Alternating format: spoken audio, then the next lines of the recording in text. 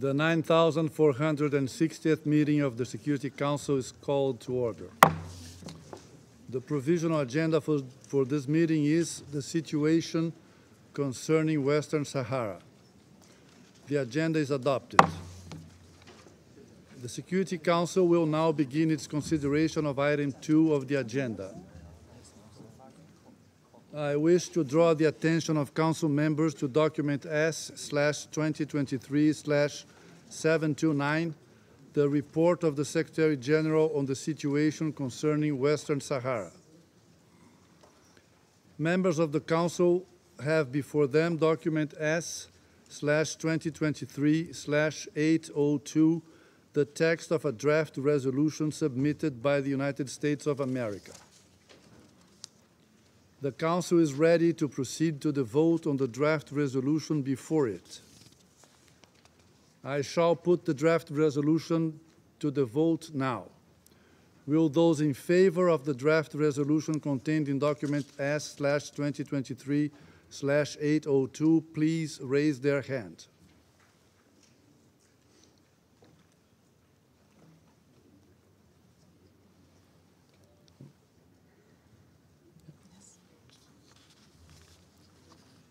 Those against? Abstentions?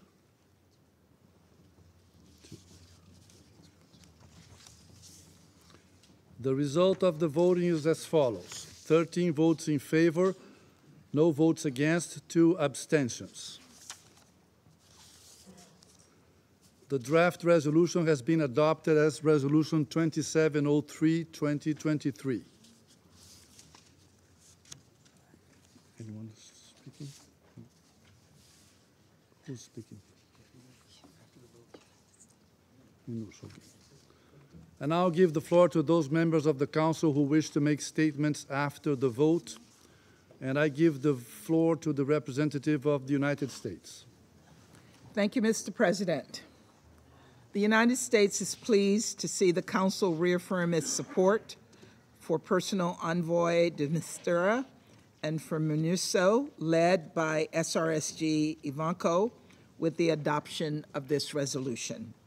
Today, this Council sent a clear message that we must intensify efforts to advance an enduring and dignified resolution for Western Sahara without further delay.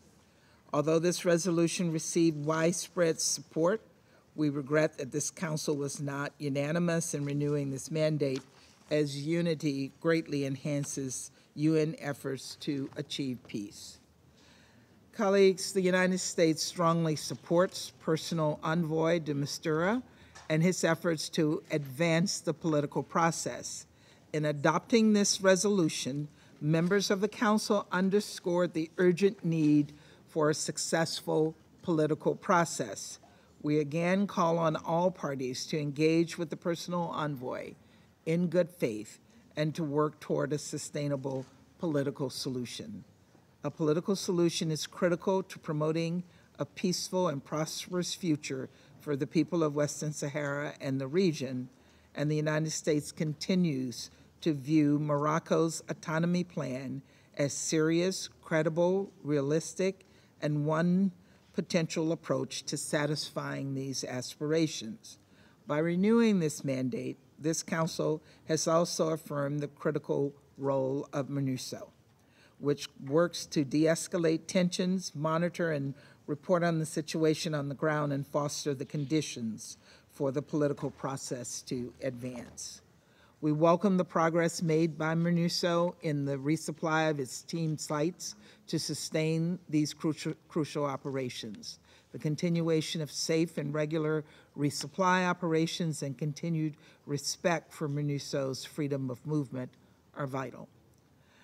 Colleagues, we, we remain deeply concerned by the humanitarian conditions in Tindouf, the poor living standards, threats to food security, and lack of access to basic services require a collective response. The United States is the largest donor to this humanitarian response, is committed to doing our part, but we must all step up. People across Western Sahara and the region are counting on us. Today was a positive step, but we must continue to push progress forward. Thank you, Mr. President. Thank the representative of the United States for their statement, and I now give the floor to the representative of Mozambique. Mr. President, Mozambique thanks the PNUD for their efforts. We wish to express our strong support for the work of the personal envoy of the Secretary General for Western Sahara, Mr. Staffan Mistura. In the same vein, we reiterate our support for the work of the United Nations Mission for referendum in West Sahara, MINUSMA, MINUS, MINUS, Min- MINURSO. Mr. President, Mozambique has approached the consultation process leading to the drafting of this resolution in an open and constructive manner, fully conscious and aware of the mandate of MINURSO as adopted by this Council. We reiterate, we therefore express our readiness to engage in negotiating process in good faith with the legitimate purpose of assisting MINURSO to return to its core objectives of implementing a referendum for self autodeterminations of the people of Western Sahara as provided by Resolution 690 1991 and subsequent decisions by this very chamber. It is our conviction that the resolution just adopted, it is a current form, will not assist the parties in achieving a just, lasting, and mutually accepted political solution as originally intended. To the contrary, it halts a gradual shift away from the mandate. It only postpones uh, addressing core issues that need to be dealt with. We support all efforts aimed at just, lasting, and mutually acceptable political solutions that will provide for the self-determinations of people of Western Sahara in accordance with Security Council resolutions 69, uh, 1754, 2414, 2468, 2494, 2548, uh, 2602, and 2654. Our position is anchored in the chamber in the Charter of the United Nations, which holds that all peoples shall have a uh, un- should have unquestionable and inalienable right to self-determination. In this principle was further espoused by General Assembly Resolution 1514 of 1960. As a country that was born from the hard exercising of his very right for our, ourselves, we hold this to be not only moral right, but also a right polit- policy with a strong legal basis. We reaffirm our commitment to making effort, every effort to help the parties to find a just, lasting, and mutual acceptable political solution based on compromise. But this has to be based on genuine efforts and with respect to every member constructive proposal. proposal. We reiterate our call to the parties to engage in good faith with the Secretary General's personal envoy to achieve the long delay exercise of its right to self-determination by the people of Western Sahara. I thank you. I thank the representative of Mozambique for their statement, and I now give the floor to the representative of the Russian Federation.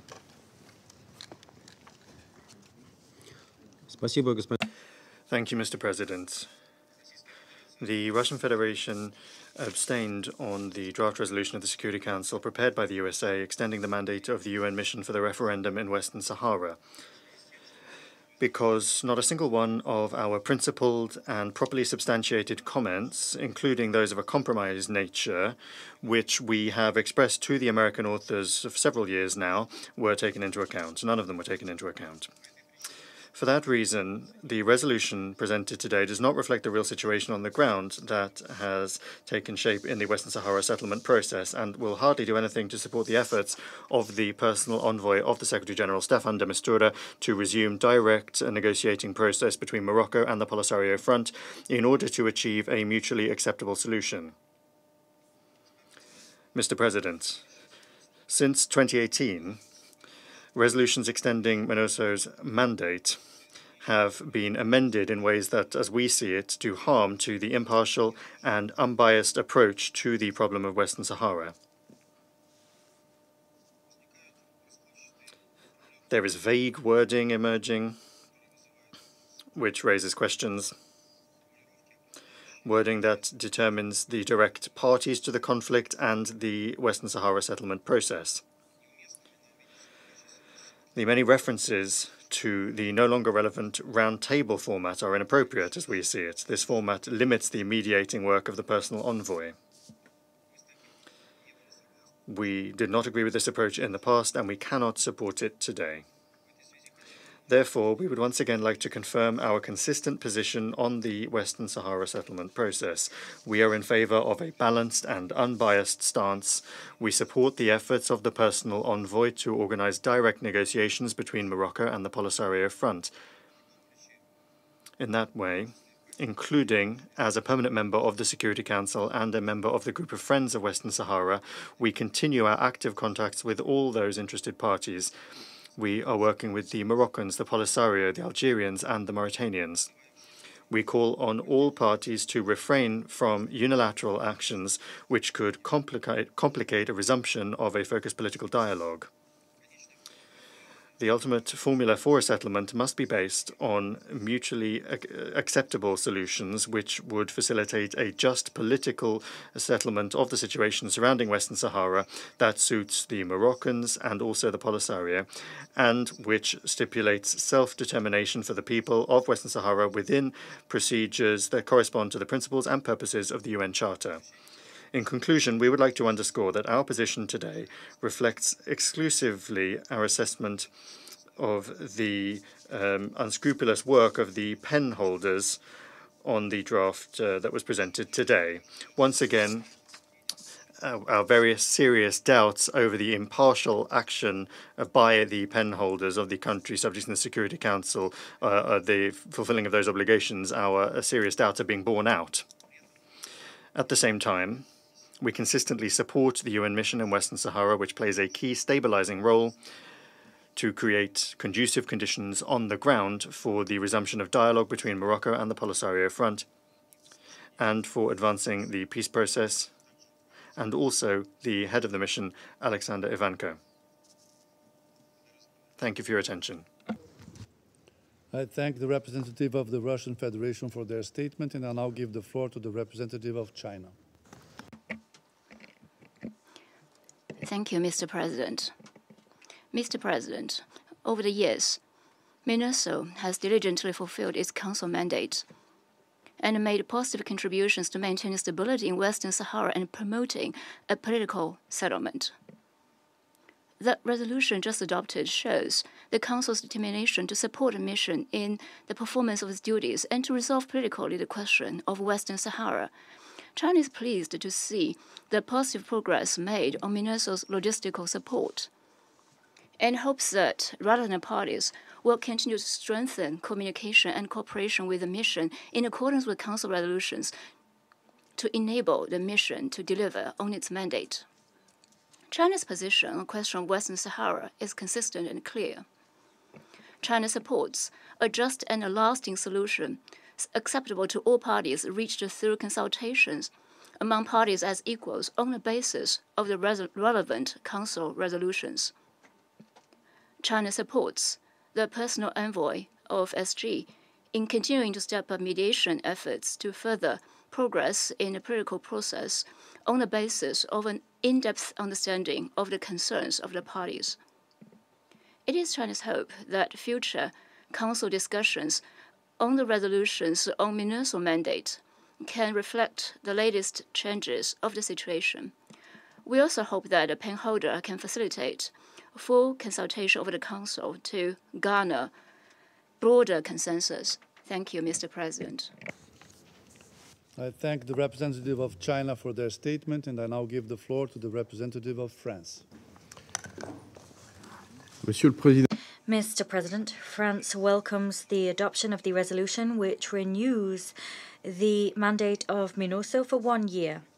First and foremost, I wish to reiterate France's full support for the efforts of the personal envoy of the Secretary General. His recent visit to the region and the consultations that he led were a positive development. I also hail the work of MINURSO that plays a key role in stabilizing the region and contributes to creating the conditions necessary for a resumption of the political process. We also welcome the resumption of resupply operations of MINURSO monitoring sites to the east of the berm in September, a lasting resumption however, remains necessary in order to guarantee regular resupply. It's also essential to guarantee the freedom of movement of MINURSO. France recalls its concern regarding ceasefire violations. We call for the those responsible for these violations to fully implement the ceasefire agreement in order to facilitate the continuation of the political process. Mr. President, France defends a just, lasting, and mutually acceptable political solution in accordance with Security Council resolutions.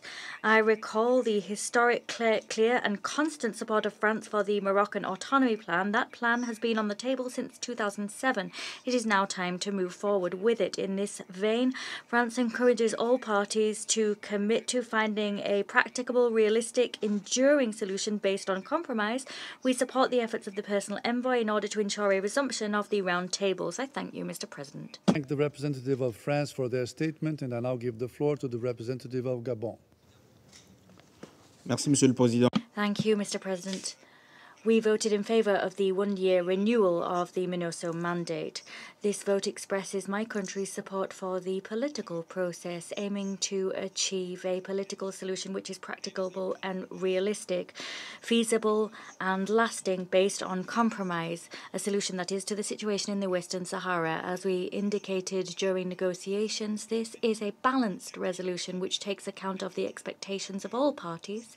It will make it possible to support the efforts of the personal envoy, Staffan de Mistura, in order to allow the resumption of the political process between the various parties. This diplomatic momentum ushered in by the personal envoy must be built upon because the resumption of the roundtable process with all key players is important. We also support the Moroccan Autonomy Plan, which presents credible horizons, reassuring perspectives, which will make it possible not only to put an end to the current state of gridlock, but also to reach a political solution which is just, lasting, and mutually acceptable. Finally, we encourage the Kingdom of Morocco to continue its efforts in order to preserve the ceasefire and to strengthen its cooperation with MINURSO.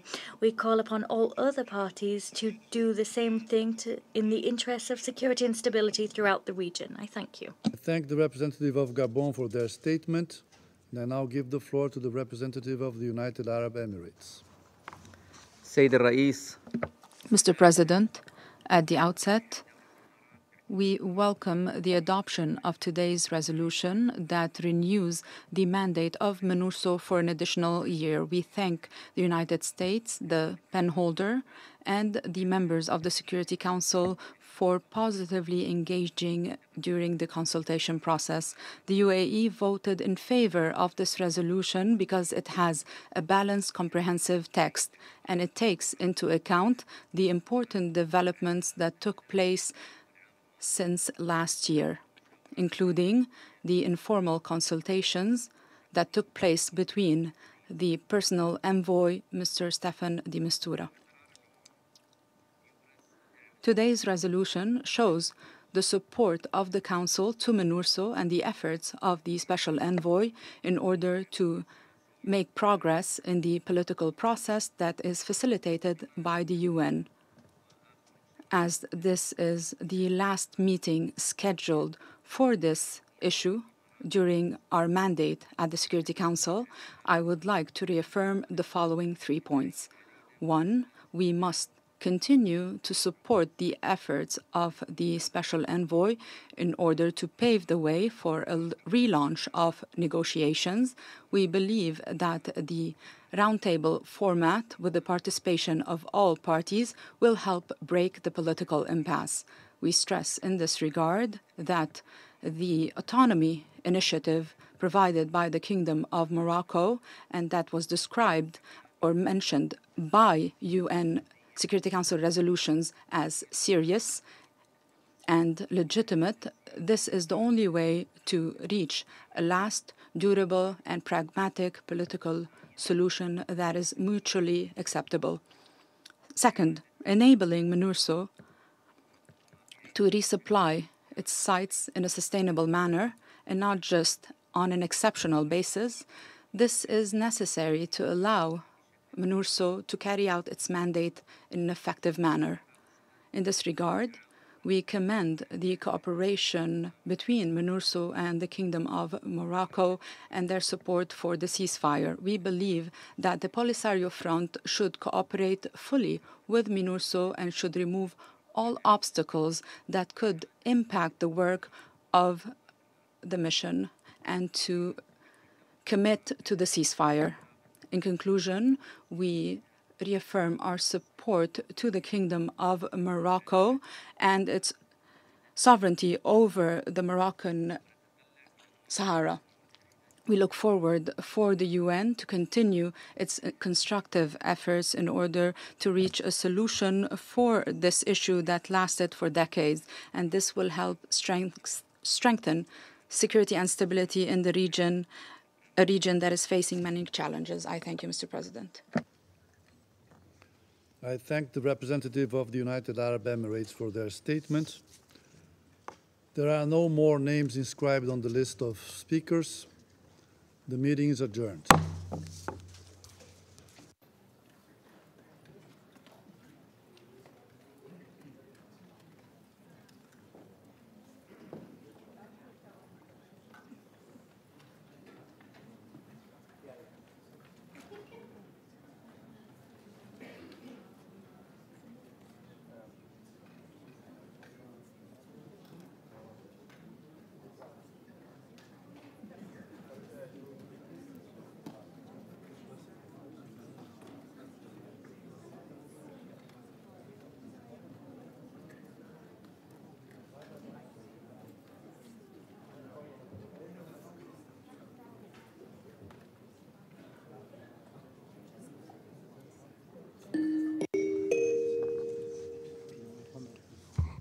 The 9,461st meeting of the Security Council is called to order. The provisional agenda for this meeting is identical letters dated 19th January 2016 from the permanent representative of Colombia to the United Nations addressed to the Secretary General and the President of the Security Council, S 2016 53. The agenda is adopted. The Security Council will now begin its consideration of item two of the agenda. I wish to draw the attention of Council members to document S/2023/701, the report of the Secretary General on the United uh, Nations verification mission in Colombia. Members of the Council have before them document S/2023/800-808 the text of a draft resolution submitted by the United Kingdom of Great Britain and Northern Ireland. The Council is ready to proceed to the vote on the draft resolution before it.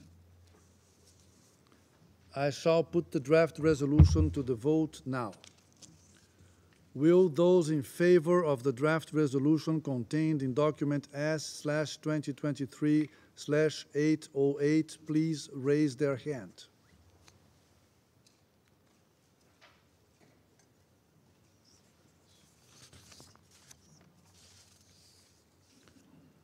The draft resolution has been adopted unanimously as Resolution 2704, 2023.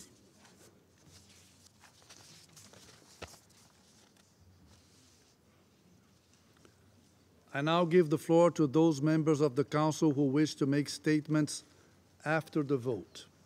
I give the floor to the representative of the United Kingdom. Thank you, President.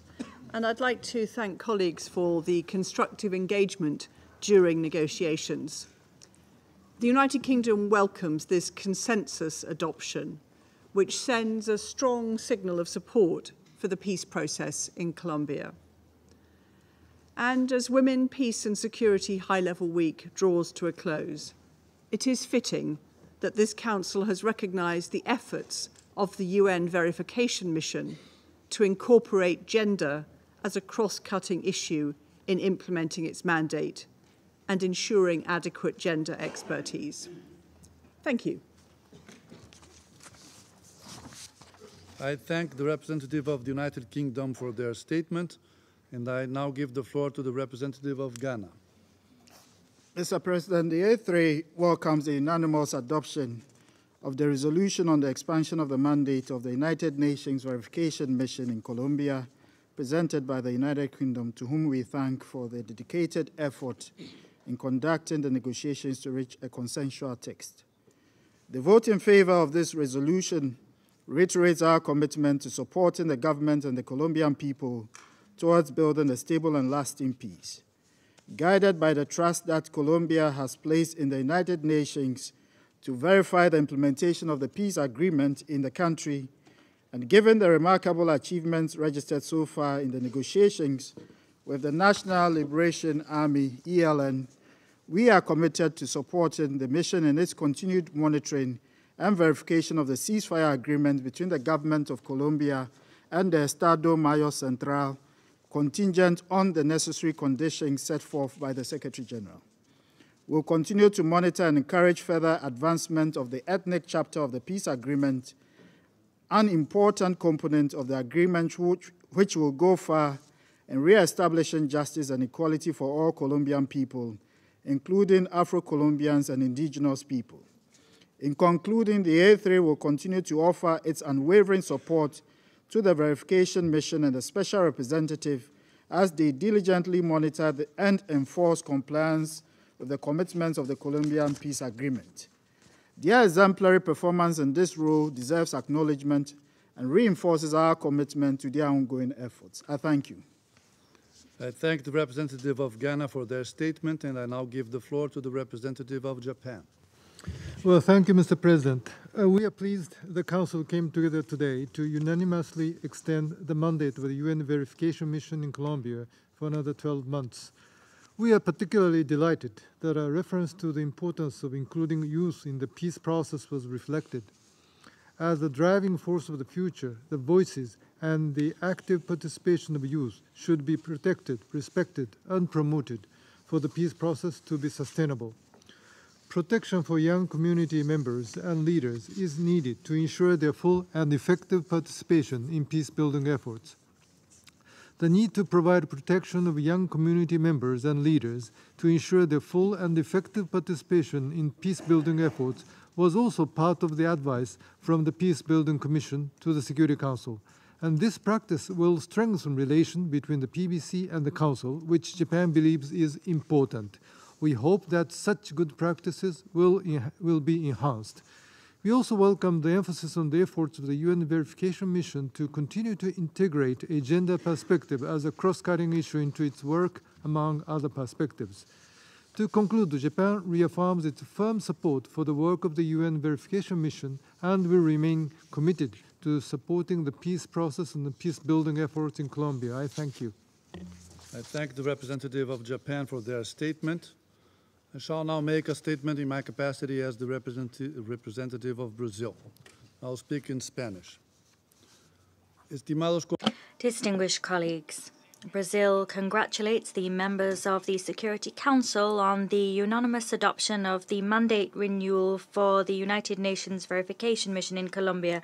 Brazil thanks the United Kingdom for its sterling work as penholder. The work of the Security Council in Colombia is in line with and must always be in line with the needs and priorities of Colombia as expressed by its government. In this connection, we are delighted to note that the resolution adopted today fully reflects the sovereign will of that country. Brazil supports the strategy of the Petro government to achieve a total peace. We recognize the importance of and the need for the additional dialogues that are underway to spread the dividends of peace throughout the country in its entirety. We continue to follow with interest and optimism the dialogue of the government with the self proclaimed group Estado Mayor Central, EMC. As in the case with the ELN, we hope that the Council will be able to authorize the mission to verify the implementation of the ceasefire agreement with the EMC when the necessary degree of maturity has been reached on this front. It is important to optimize the contribution that the Council makes to progress across the various negotiation processes underway in Colombia, with the ultimate goal of encouraging ceasefires both with the government and between the groups that continue to be engaged in territorial disputes. The peace process in Colombia is an example for the world of how to prioritize and incorporate the perspective of women, peace, and security into work. The the verification mission in Colombia must also reflect that reality, guaranteeing the integration of a gender perspective in each facet of the work underway to build and consolidate peace is vital to achieve broader and sustainable solutions. We're not adding work to a mandate, but what we're doing is strengthening the quality of our approach, the approach that is that we adopt for the peace processes, tackling issues crucial to peace in Colombia from rural reform to the reincorporation of former combatants using a gender sensitive approach enriches our work and strengthens the foundations for a lasting peace in the country. Once again, we congratulate the people and government for Colombia on their tireless efforts to seek, achieve, and consolidate total peace across its territory. Peace is the only path possible to guarantee the prosperity and the peaceful civic coexistence of all Colombia's people. The renewal of the verification mission's mandate by the Security Council is an invaluable contribution to the lasting success of this vital but crucial journey that Colombia has embarked upon. I thank you. I resume my function as President of the Council. There are no more names inscribed on the list of speakers. The meeting is adjourned.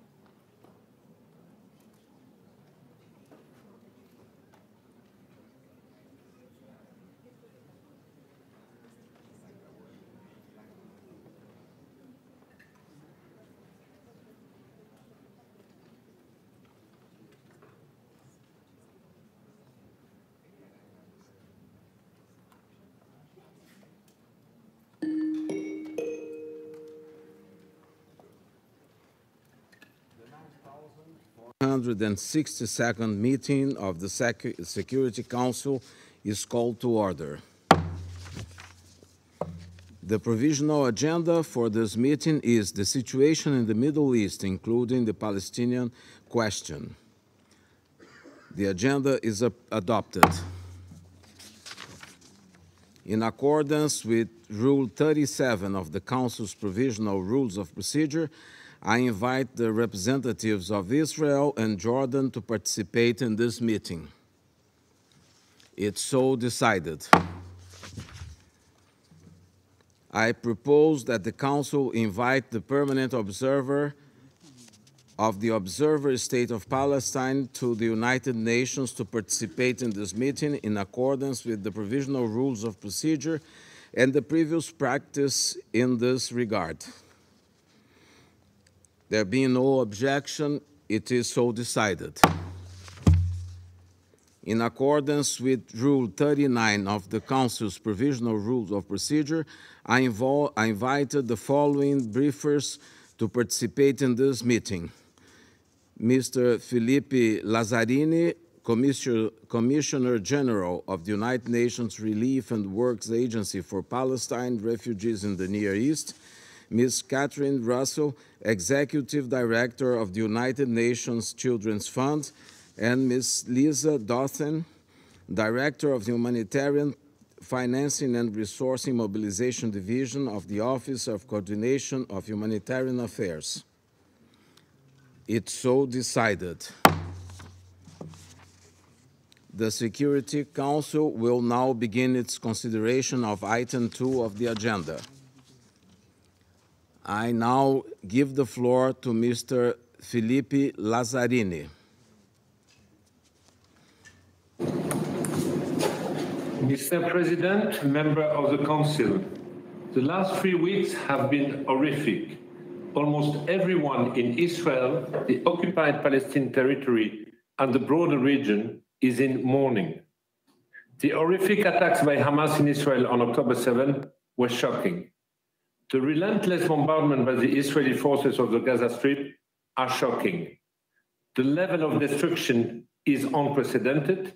The human tragedy unfolding under our watch is unbearable. One million people, half the population of Gaza, were pushed from the north of the Gaza Strip towards the south in three weeks.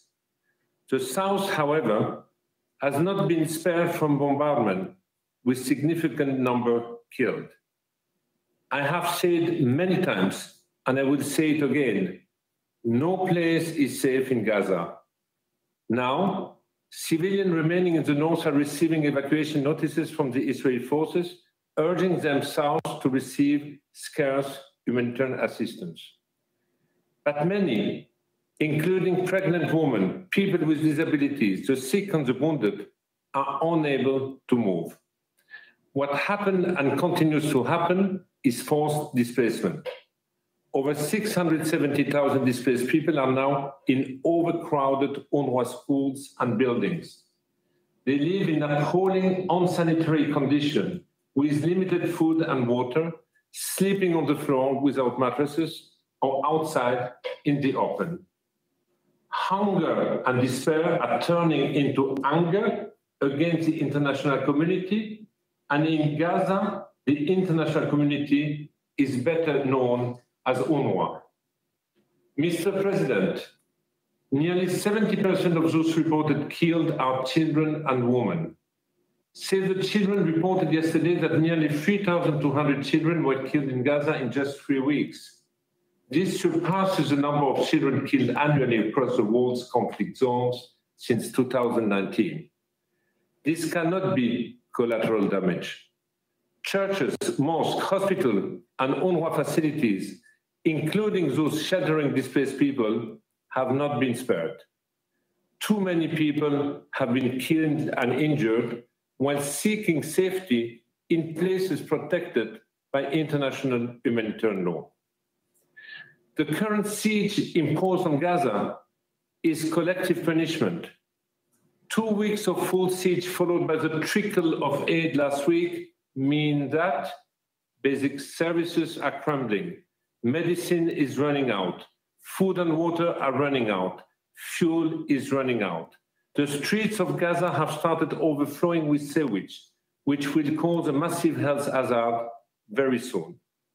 In the latest blow, the communication blackout over the weekend has aggravated the panic and distress of people. The blackout meant that people could not communicate with their loved ones inside Gaza to know who is dead or who is alive. They no longer knew whether they would receive bread from UNRWA. They felt abandoned and cut off from the rest of the world. The communication blackout has accelerated the breaking down of civil order. Panic pushed thousands of desperate people to add to the UNRWA warehouses and distribution center where we store the food and other supply we started receiving via Egypt last week. A further breakdown in civil order will make it extremely difficult, if not impossible, for the largest UN agency in Gaza to continue operating it will also make it impossible to bring in convoys. I say this while being fully aware that UNRWA is the last remaining lifeline for the Palestinian people in Gaza. Member of the Council, UNRWA is calling on you for support. I lost 64 colleagues in just over three weeks. The last tragic passing confirmed was two hours ago. Samir, head of security and safety in the Middle region, was killed with his wife and eight children. This is the highest number of UN aid worker killed in a conflict in such a short time. My 13,000 colleagues in Gaza are from a community of 1.7 million Palestinian refugees out of 2.2 million residents in the Gaza Strip. Those who are alive have, for the most part, lost relatives, friends, neighbors, and are displaced like the majority of Gazan.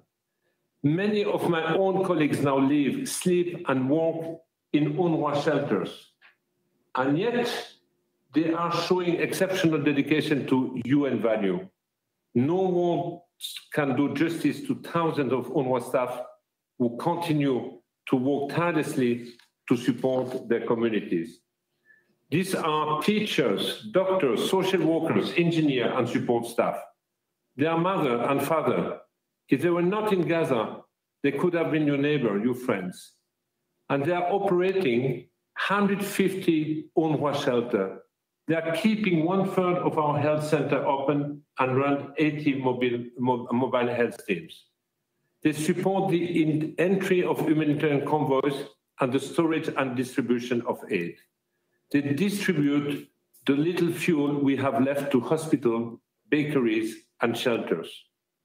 My UNRWA colleagues are the only glimmer of hope for the entire Gaza uh, Strip, a ray of light as humanity sinks into its darkest hour. But they are running out of fuel, out of water, out of food and medicine, and will soon be unable to operate. Let me be clear, the handful of convoys being allowed through Rafah is nothing compared to the needs of over 2 million people trapped in Gaza. The system in place to allow aid into Gaza is geared to fail unless there is political will to make the flow of supplies meaningful, matching the unprecedented humanitarian needs. Mr. President, Gaza has over 2 million people, half of them children. Gazans are vibrant, educated people who aspire to have normal lives, families, children, education, and dreams of a better future. Today, Gazans feel that they are not treated as other civilians. Most of them feel trapped in a war they have nothing to do with they feel the world is equating all of them to Hamas. This is dangerous, and we know this too well from previous conflicts and crises. An entire population is being dehumanized. The atrocities of Hamas do not absolve the state of Israel from its obligation under international humanitarian law. Every war has rules, and this one is no exception.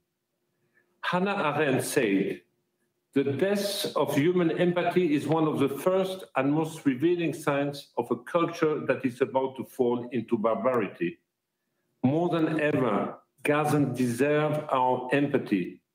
Its absence will deepen the polarization in the region and further push away any prospect of peace.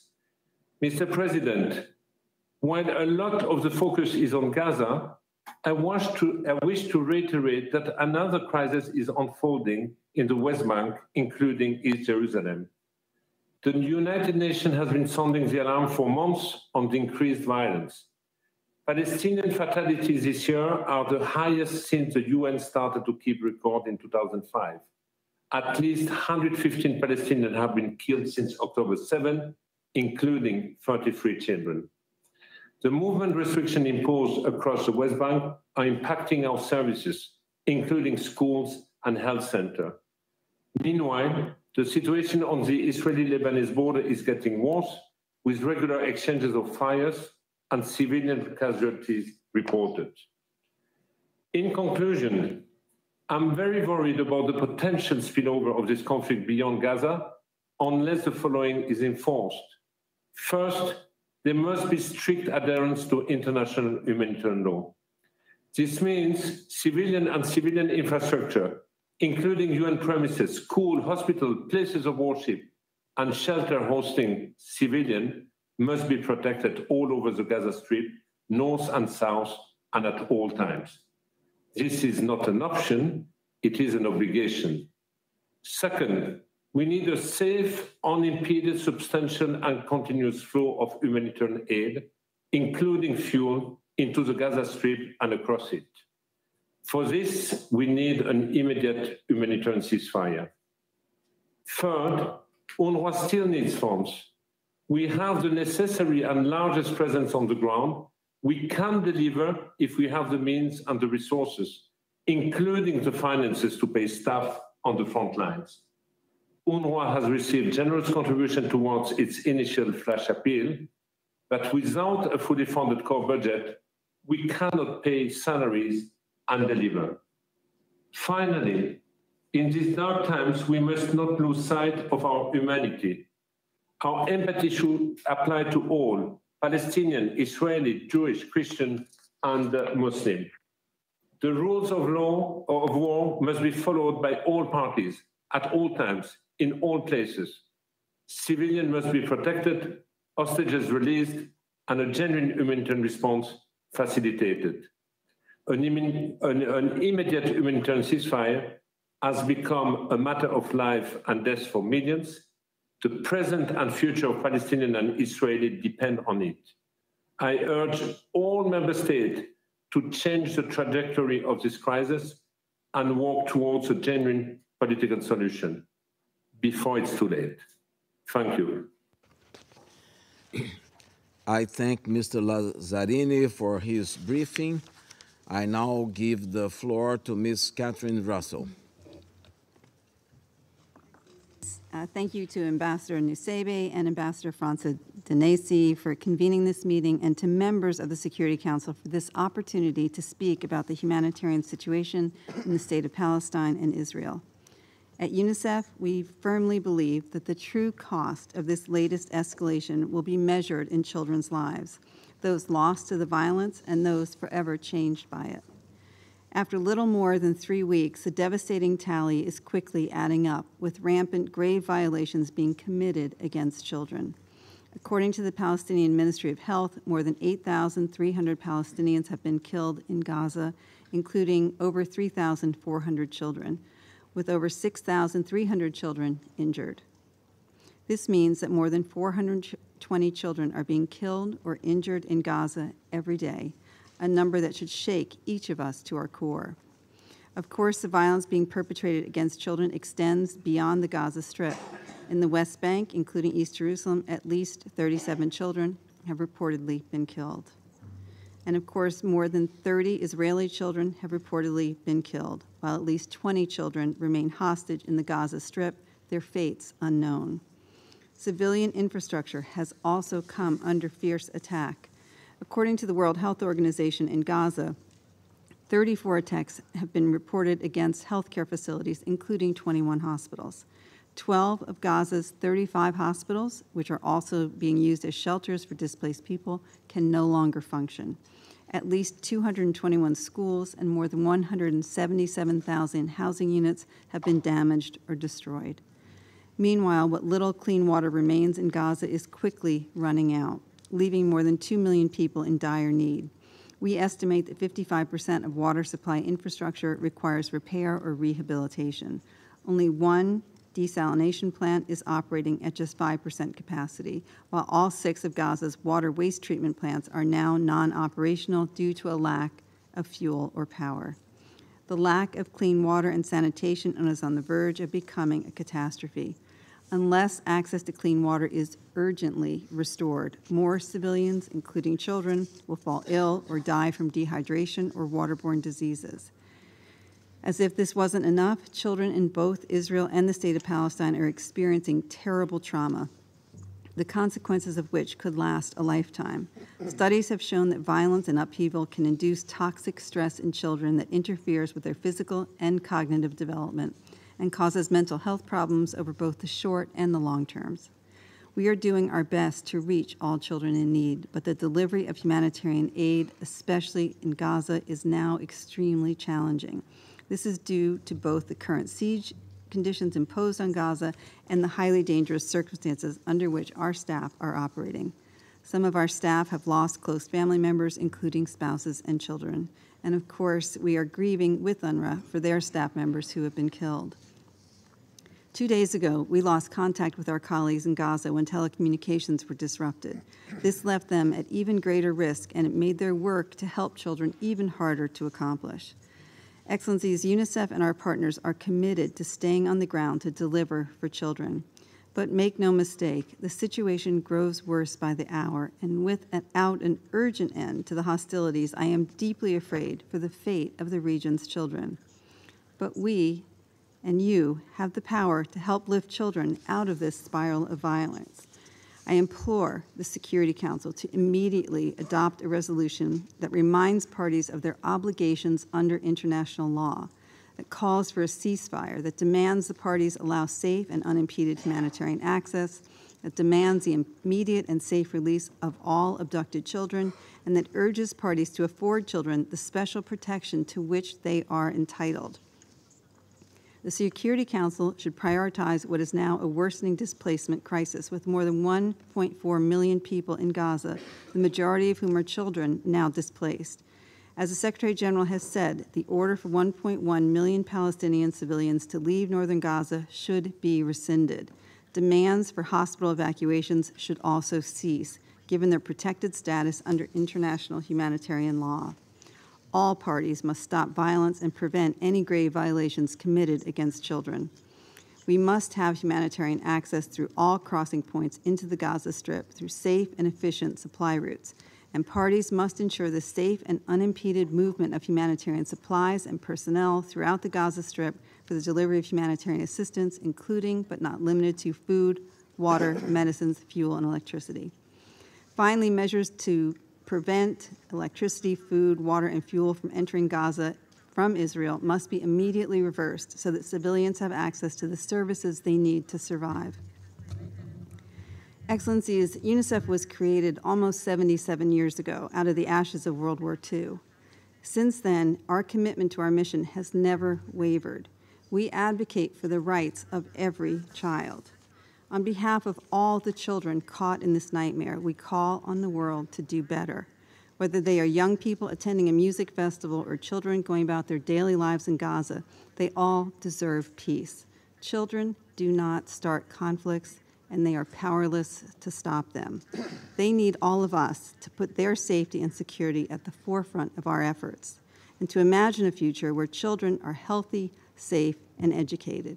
No child deserves any less. Thank you. I thank Mrs. Russell for her briefing. I now give the floor to Mrs. Lisa Doughten. Thank you, Mr. President. I'm delivering this statement on behalf of Emergency Relief Coordinator and Undersecretary General for Humanitarian Affairs, Mr. Martin Griffiths, who is currently on mission in Israel and the occupied Palestinian territory. The events that have unfolded since 7 October have been nothing short of devastating and heartbreaking. We do not forget the 1,400 people killed and thousands more injured and taken in the brutal Hamas attack. Indiscriminate rocket fire continues from Gaza into populated areas of Israel, causing more civilian casualties and displacement and trauma. We deplore that 230 people held hostage in Gaza, all hostages, must be released immediately and unconditionally. We welcome all diplomatic efforts to secure their release and demand that, in the interim, they be treated humanely and be allowed to receive visits from the International Committee of the Red Cross. As you've just heard from Commissioner General Lazzarini, the situation for the more than 2 million people trapped in the Gaza Strip is catastrophic.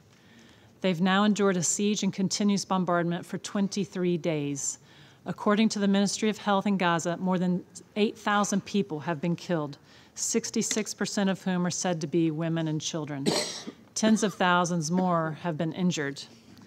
The scale of the horror people are experiencing in Gaza is really hard to convey. People are becoming increasingly desperate as they search for food, water, and shelter amid the relentless bombing campaign that's wiping out whole families and entire neighborhoods.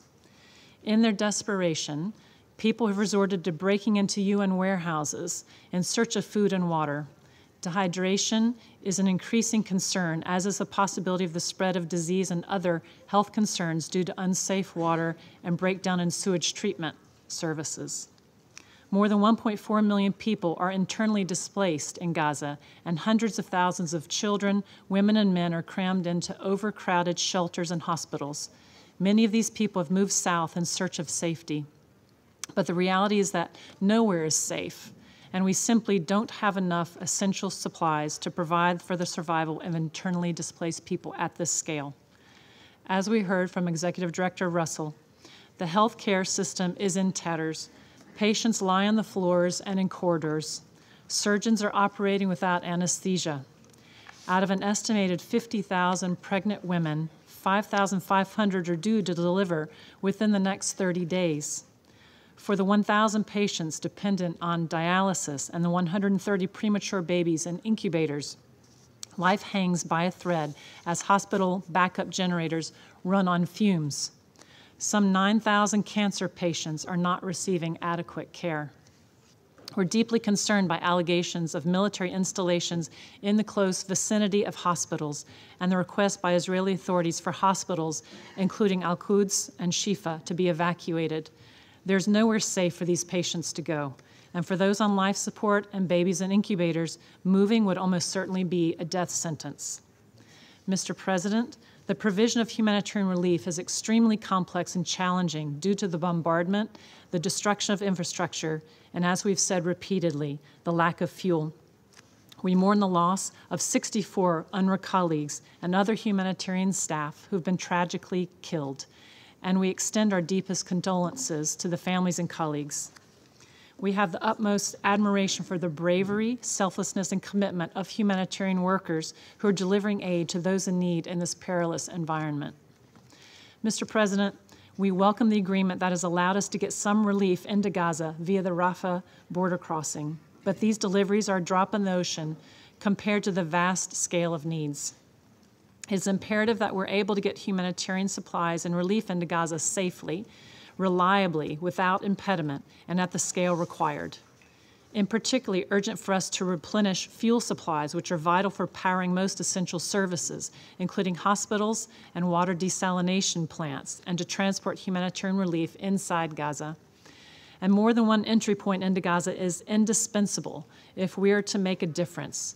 Kerem Shalom between Israel and Gaza is the only crossing equipped to rapidly process a sufficient, sufficiently large number of trucks. Meanwhile, in the West Bank, scores of civilians have been killed and incidents of settler violence have increased, causing hundreds of civilians to be displaced. Likewise, the violence and closure of checkpoints has impeded access to essential services and food distribution. The permits of some 150,000 to 175,000 Palestinians from the West Bank working in Israel and settlements are now suspended. The situation is causing significant damage to the West Bank economy and Palestinian institutions. We have very real fears about what lies ahead. The current situation may pale in comparison with what is to come. There's a genuine risk that this war could escalate further and spill over into wider region. We must take urgent collective action to prevent this. Mr. President, in light of all that has been described today, what we're calling for is for the parties to agree to pause the fighting on humanitarian grounds. It would provide the required calm and safety for hostages to be released and for the UN to replenish supplies, relieve exhausted personnel, and resume assistance throughout Gaza wherever civilians are in need. It would also provide much needed respite to civilians who are living under unimaginably traumatic conditions. But with or without a pause in the fighting, I reiterate that all parties on all sides must respect international humanitarian law. This means allowing relief in and taking constant care to spare civilians and civilian objects, including humanitarian and medical workers, facilities, and assets and this applies whether civilians move or they stay. We are relying on the responsibility of every member state here and across the UN to use all of their influence to ensure that the rules of war are respected and that as far as is possible, civilians are spared further suffering. Thank you, Mr. President. I thank Ms. Doughten for her briefing and I shall now make a, stand, a, statement in my capacity as the Minister of Foreign Affairs of Brazil. Distinguished representatives, I thank the briefers for their extensive information on the humanitarian situation on the ground and commend the work of their teams in locus and elsewhere. They honor once again the work of this organization and everything it stands for. Following instructions of President Lula, I come back before you again today with a profound sense of urgency and dismay. We must always bear in mind the human faces on both sides of the conflict. Therefore, I extend Brazil's deepest condolences to the families and friends of all civilians, including the brave and dedicated United Nations personnel who have lost their lives in the ongoing crisis stemming from the protracted conflict in Israel and Palestine, tragically reignited by the terrorist actions by Hamas against Israel on October 7th. Nothing justifies such crimes all hostages must be immediately and unconditionally released, and access to them by the Red Cross must be immediately granted. At the same time, the current situation in Gaza is deeply appalling and indefensible by any humane standard and under humanitarian, international humanitarian law. An alarming humanitarian catastrophe is unfolding before our eyes with thousands of civilians, including an overwhelming intolerable number of children being punished by crimes they have not committed. In three weeks, we have watched this conflict claim the lives of more than 8,000 civilians, of whom more than 3,000 are children. Since the last time I spoke in this council, just last week, the count of children deaths increased by 1,000. Meanwhile, the Security Council hold, holds meetings and hears speeches without being able to take a fundamental decision to end the human suffering on the ground. As thousands in Israel and Palestine mourn their loved ones, as Israeli agonize over the fate of hostages, as Gazans suffer under relentless military operations that are killing civilians, including an intolerable number of children, we have the means to get something done, and yet we repeatedly and shame, shamefully fail. Since October 7th, we have met several times and considered four draft resolutions. However, we remain at impasse due to international, due to internal disagreements, particularly among some permanent members, and thanks to the persistent use of the Council to achieve self-oriented purpose instead of putting the protection of civilians above all. The grave and unprecedented human crisis before us require that sterile rivalries be relinquished that the Council is not able to discharge its responsibility of safeguarding international peace and security due to old antagonism, antagonism is morally unacceptable. Let us not fool ourselves. The eyes of the world are staring at us and will not move away from our distressing inability to act. They all see that our incapacity to unite in response to the human crisis facing us today questions the very raison d'etre of this council. Someone has even written that, in addition to civilians, this body lies beneath the rubble in Gaza. The difference is that we are our own so, so saviors. We just need to do what is right to spare innocent lives from the scourge of wars there may still be time to rescue the Council and sustain the hope that many of us still have in our capacity to be true to our mandate under the Charter. It is possible only if it's enough political will, if there is enough political will to compromise and to be minimally balanced and inclusive in our diagnosis and way forward. Failure to do so, yet another failure, failure will add an increasingly higher cost in human lives above all, but also to multilateralism in general, to the United States, and to this Council in particular. Last week, uh, hope for consensus seemed to emerge, echoing the Secretary General's call for a humanitarian ceasefire as the 10th emergency special session of the General Assembly passed a resolution that called for humanitarian truce leading to a cessation of hostilities.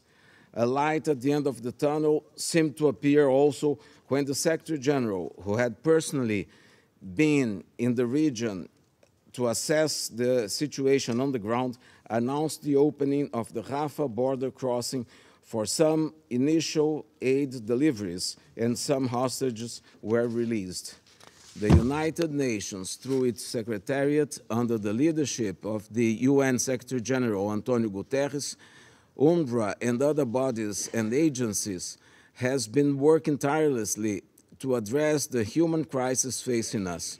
It rests on Security Council the responsibility to follow through. The price of inaction is unacceptably high.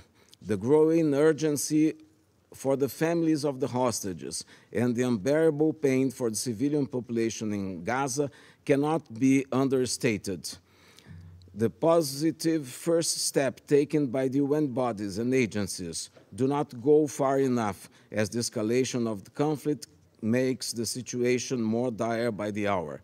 The relevance of a resolution of the Security Council lies on the need for sustainable sustained humanitarian aid and for granting safe working conditions for those involved in rescuing hostages and providing humanitarian work. The cessation of hostilities is therefore to the benefit of the civilian population on both sides. All the risk of reinstating the obvious, I want to put it bluntly. There cannot be rescuing of hostages and humanitarian aid under shells. This is why Brazil and fellow E10, E10 members have been working tirelessly to try to get this council to act more decisively since the last showdown around proposed uh, resolutions. In Brazil's view, the main goals are clear the immediate and unconditional release of all hostages, and the end of violence through whatever modalities can be agreed without further delay, so that rapid, safe, unhindered, and sufficient humanitarian aid can be delivered to the strained people of Gaza. Besides the 8,000 lives lost, many more are about to meet their fatal destiny as hospitals have no means to keep providing basic treatment for the patients. Therefore, providing essential resources to those in Gaza, including water, food, medical supply, fuel, and electricity, is urgent and imperative. Surgeries are being performed without anesthesia. Lives are being lost at hospitals for lack of energy, and the most basic medic supply, medical supplies, food and water are scarce, and prices have skyrocketed. And the flow of humanitarian aid so far amounts to little more than a photo op. Tanks and troops are on the ground in Gaza, and time for action is running out. My questions to you all are if not now, when? How many more lives will be lost until we finally move from rhetoric to action? It is also critical and urgent to allow for the safe and immediate evacuation of foreign nationals from Gaza and from elsewhere in the region if they feel threatened. While every state has the right and duty to protect its citizens, actions must be consistent with international law and international humanitarian law, in particular, the principles of distinction, proportionality, precaution, military necessity, and humanity. The right and duty to protect a state's population cannot and should not come at the cost of more deaths of civilians and more destructions of civilian infrastructure. As the UN Secretary General Guterres has repeatedly reminded us, even wars have rules.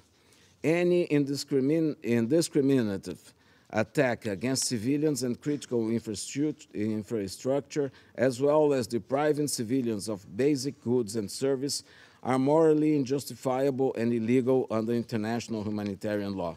Brazil strongly condemns actions that blur the line between civilians and combatants.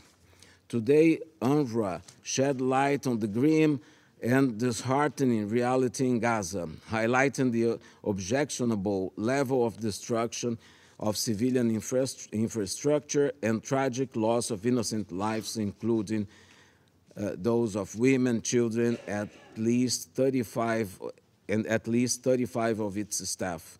The World Health Organization has been constantly recalling the urgent need for the cessation of violence and for the humanitarian action at a time when Gaza's health infrastructure is on the verge of collapse.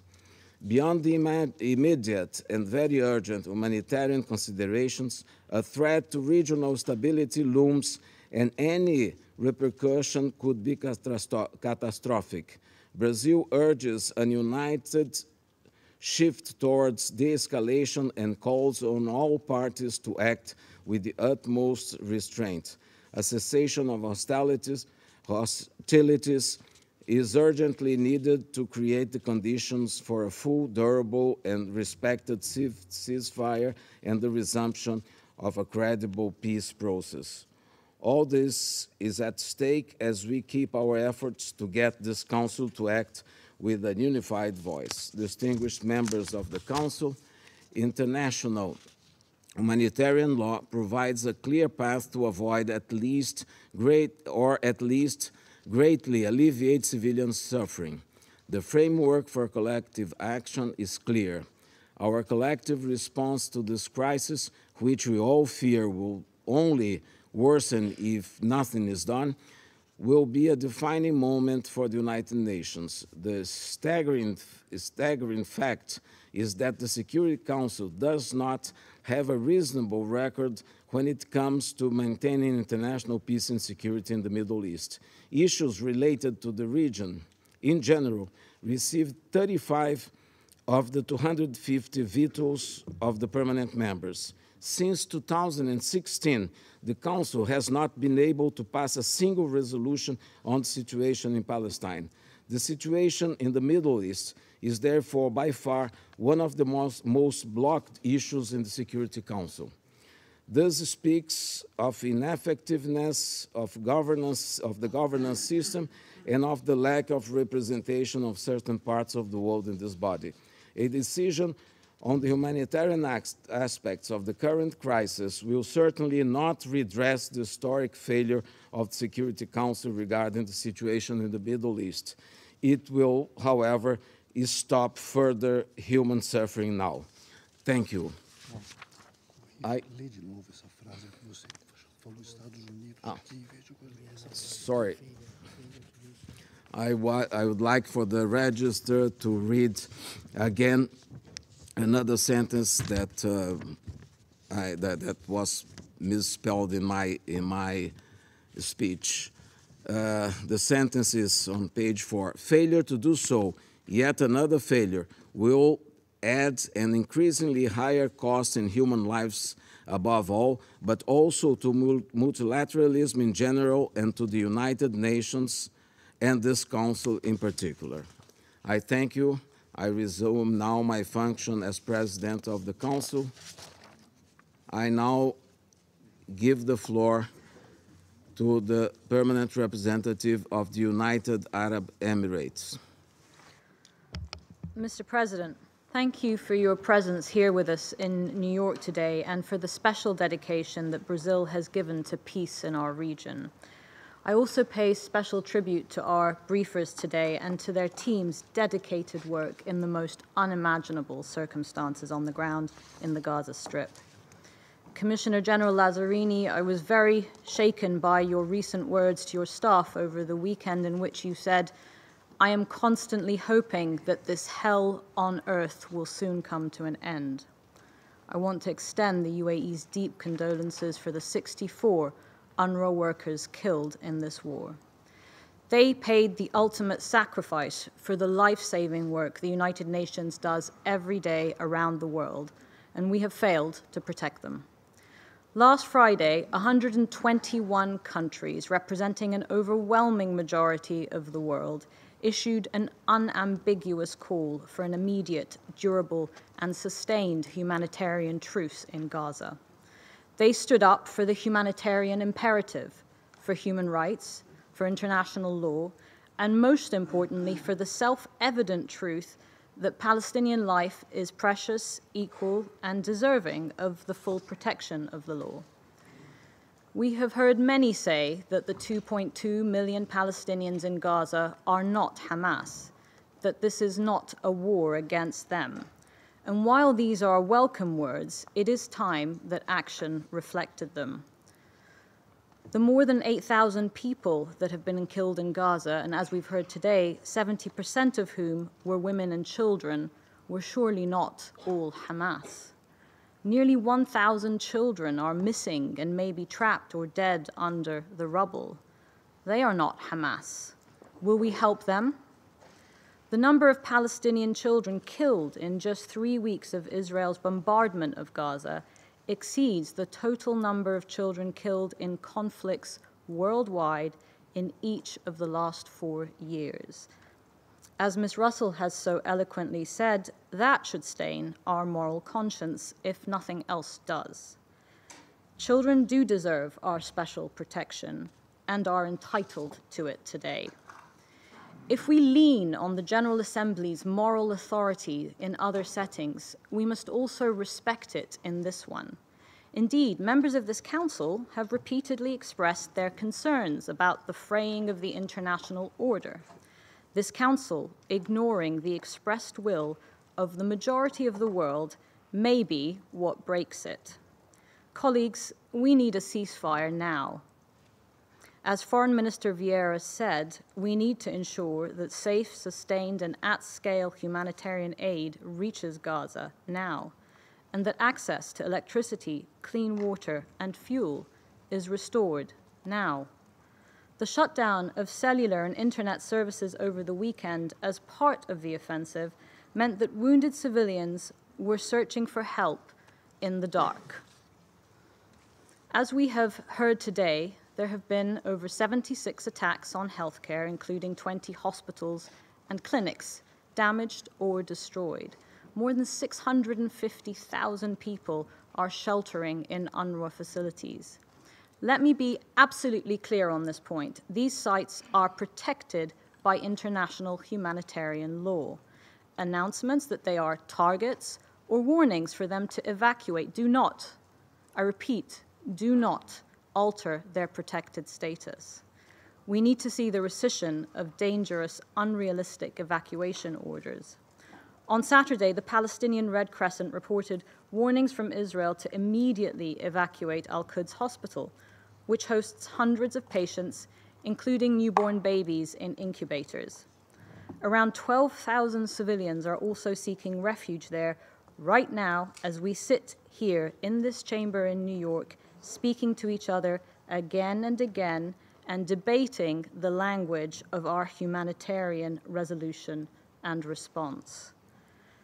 An evacuation order in these conditions is cruel, it is reckless, and so is our delay as a Security Council. Mr. President, all of Gaza's civilian population is at risk by the escalating hostilities, as are the Israeli and international hostages taken by Hamas, wrongly taken by Hamas. While our eyes have been trained on Gaza, the occupied West Bank has not been spared from violence either. Israeli settlers are escalating their attacks against Palestinian civilians and forcing their displacement. These attacks must be prevented by the State of Israel. Across the region, there have been several credible warnings of a wider escalation. The drums of war are beating. Colleagues, taking these warnings seriously begins with stopping this war in Gaza. We do not serve Israel's security by enabling it to go on. We cannot reverse the heinous October 7th attacks by condoning this war in which civilians are paying the price. Ignoring what could happen day after day will have devastating consequences, not only for Israelis and Palestinians, but for the prospects of peace and stability in our region.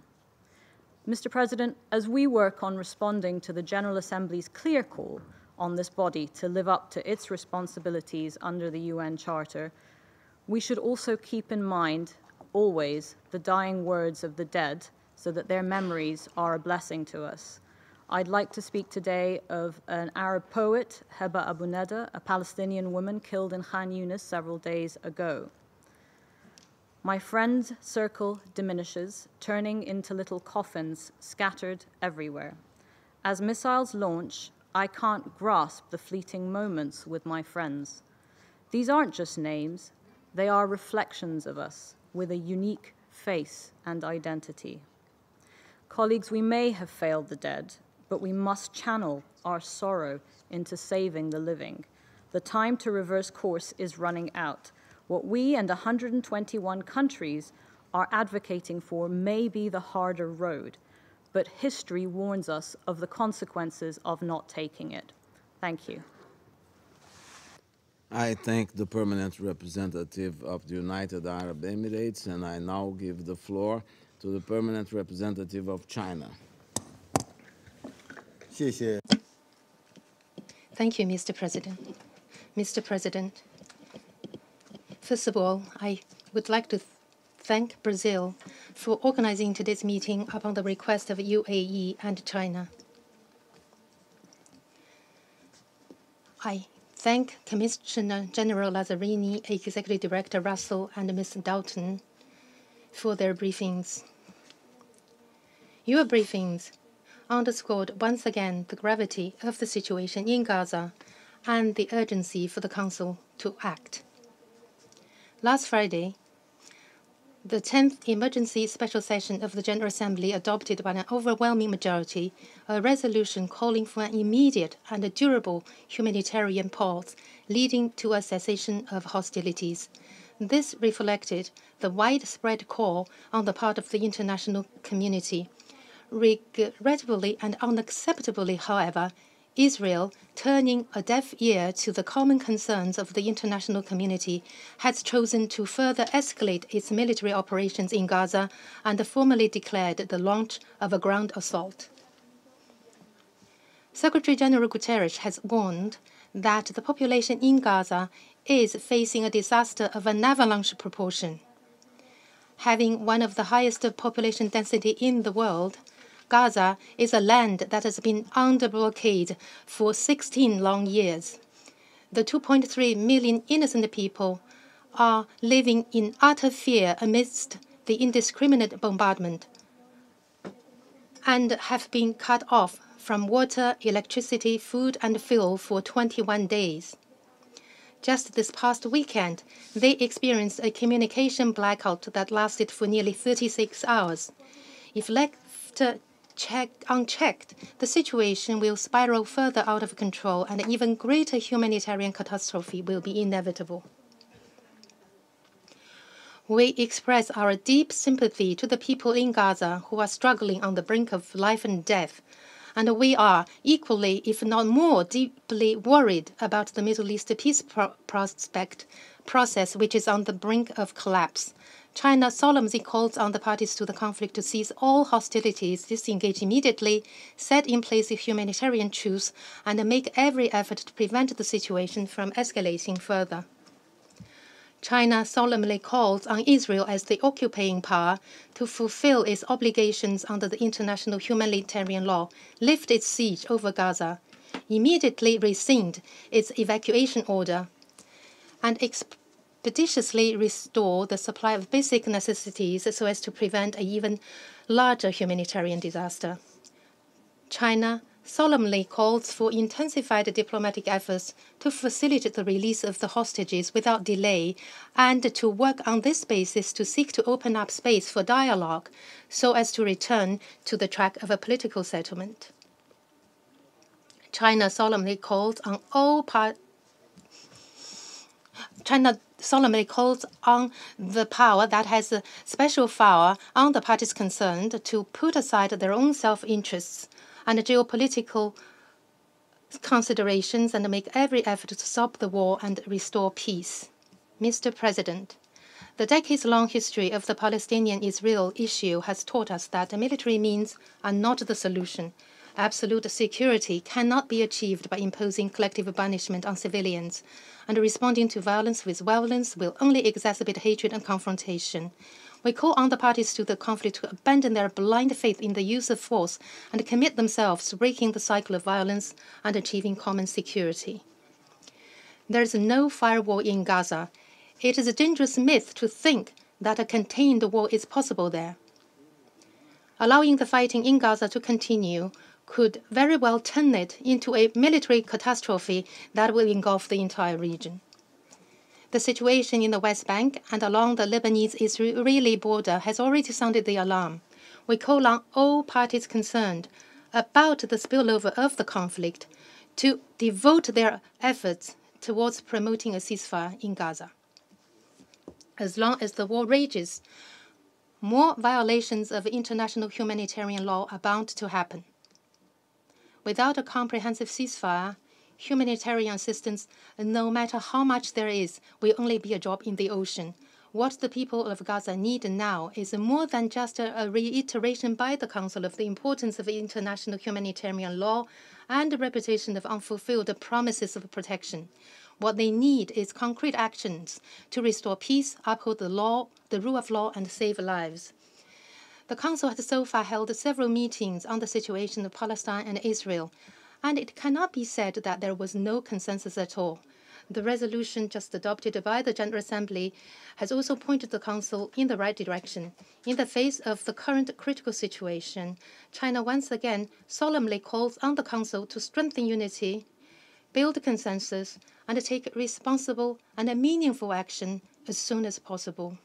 We believe that so long as we focus on the most pressing issues on hand, such as a ceasefire and an end to the fighting, the protection of civilians, and the prevention of a larger humanitarian disaster, it is possible for the members of this council to reach a consensus, and indeed, this is what they should do. At this juncture, silence means acquiesce, and inaction is tantamount to a green light. The eyes of the world are upon us, and history will record our choice. Thank you, Mr. President.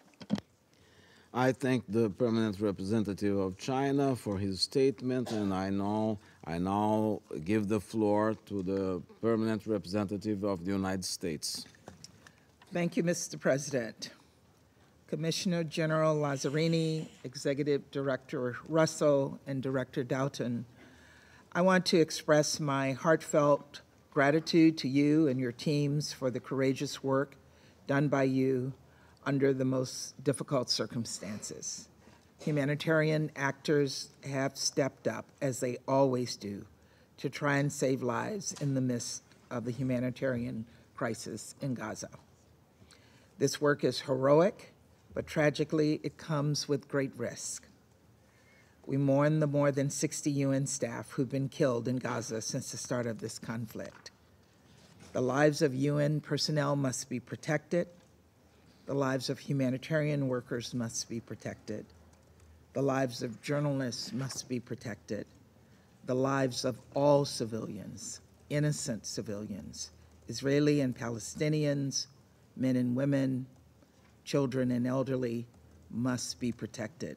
There's no hierarchy when it comes to protecting civilian lives. A civilian is a civilian, is a civilian.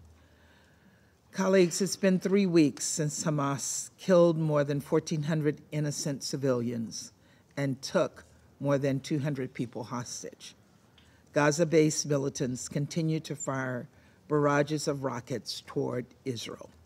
Citizens from dozens of member states are still being held hostage by Hamas. And the humanitarian crisis in Gaza is growing more dire by the day. At this moment of pain and sorrow, and suffering, we must all come together. We must all come together to call for the immediate and unconditional release of all hostages, address the immense humanitarian needs of Palestinian civilians in Gaza, affirm Israel's right to defend itself from terrorism, and remind all actors that international humanitarian law must be respected. That means Hamas must not use Palestinians as human shields, an act of unthinkable cruelty and a violation of the law of war, and that means Israel must take all possible precautions to avoid harm to civilians. Yesterday, President Biden spoke to Prime Minister Netanyahu and reiterated that while Israel has the right and responsibility to defend its citizens from terrorism, it must do so in a manner consistent with international humanitarian law. The fact that Hamas operates within and under the cover of civilian areas creates an added burden for Israel. But it does not lessen its responsibility to distinguish between terrorists and innocent civilians. Colleagues, the United States is also deeply concerned by the significant uptick in violence against Palestinian civilians in the West Bank. We condemn the killings of Palestinian civilians, and we urge Israel to prevent these attacks, working with the Palestinian Authority. The Biden administration also shares the international community's concern about telecommunications shutdowns in Gaza. We've made this clear to Israeli leaders, and we understand communication networks have started to be restored. This is essential. A shutdown of telecommunication imperils the lives of civilians, UN personnel, and humanitarian workers and risks exacerbating the humanitarian crisis in Gaza. Lives hang in the balance, and we must all step up, as the United States has done, we are the single largest donor to the Palestinian people, having contributed more than $1 billion to UNRWA since 2021. And President Biden recently announced an additional $100 million in humanitarian assistance for the Palestinian people in Gaza and the West Bank. But of course, no amount of aid will matter if it cannot reach people in need. And the United States continues to work with Israel, Egypt, the UN, and other partners to facilitate rapid and sustained assistance flow. Food, fuel, water, medicine, and other essential services must be restored. And while the number of trucks entering Gaza continues to increase, it is not nearly enough. The amount of humanitarian assistance flowing into Gaza must be scaled up urgently. We must do everything possible to save lives. And President Biden has expressed his support for humanitarian pauses in the fighting to allow hostages to get out, to allow humanitarian aid to reach Gaza and be distributed, and to allow safe passage for civilians, which will help people access humanitarian assistance or move to safer locations. We also continue to urge all member states to work to prevent any spillover of the crisis.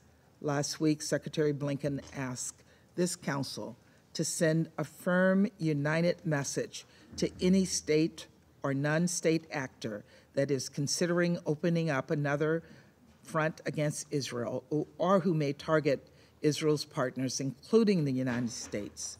Don't. This is a matter of international peace and security, and this council must speak out. That is one of the many reasons that last week the United States put forward a strong and balanced Security Council resolution, one that we consulted with all member states on and we worked to forge consensus around. This resolution received the support of the majority of this council, but Russia and China blocked its adoption. Following this veto, action moved to the General Assembly, where member states were asked to vote for a resolution that was grossly one sided and was missing two key words Hamas and hostage. These are deliberate omissions that give cover and empower Hamas's brutality. During the emergency special session, we also heard a few member states implicitly endorse Hamas's acts of violence, and I was frankly shocked and appalled. It is outrageous and it must be called out. It is unconscionable that Hamas's actions are not condemned by the General Assembly. Colleagues, as I've said before, the United States will continue to engage with any council member, with any member state that is committed to adopting a strong and balanced resolution. But any council product must support direct diplomacy efforts that can save lives and advance the prospects of a more peaceful and secure future for the region. Even at this difficult moment, we must keep hope alive. We must work toward a brighter future, a future where Israelis and Palestinians have equal measures of security, freedom, justice, opportunity, and dignity, a future where Palestinians realize their legitimate right to self determination and a state of their own a future where two democratic states, Israel and Palestine, live side by side in peace. This is not the future Hamas wants to see, but it is the future that we must all work to advance together. Thank you very much, Mr. President. I thank the permanent representative of the United States for her statement. And I now give the floor to the permanent representative of Ecuador. Señor Presidente. Mr. President, to begin, I wish to thank Mr. Philippe Lazzarini and Ms. Lisa Doughten and Catherine Russell for their grave briefings this afternoon. I wish to thank them for all of the work of UNRWA, OCHA, and UNICEF in such grueling circumstances such as those being injured by these bodies on the ground. The events in Gaza are of grave concern, Mr. President. The situation of the civilian population is desperate. The aid that is arriving is insufficient. The future is uncertain and menacing. Telecommunication blackouts that have just been referred to and the beginning of ground operations are worsening this state of affairs. Ecuador values the efforts that have been made to render viable the entry of vital supplies from Egypt. We hope that we will ultimately manage to establish a system which makes it possible to supply the civilian population in a sufficient and co continuous fashion. We recognize the right of countries to protect their civilians when international law allows. However, at the same time, we recall the obligation for that right to be exercised in full compliance at all times with international law and international humanitarian law, as we have stated on several occasions. Uh, as Ecuador and other members of the Council indeed have stated on several occasions. We support the work of the Secretary General, that of the United Nations system, and we support the work of its agencies who have the mandate to provide humanitarian aid to the population affected by this conflict. My country has appealed vehemently for the avoidance of the spillover of this violence to other areas in the region. At this moment, I wish to draw particular attention to the need to avoid exacerbating tensions and fueling the violence in the West Bank and on the border between Lebanon and Israel. I reiterate our request to all to act with a sense of responsibility and common sense.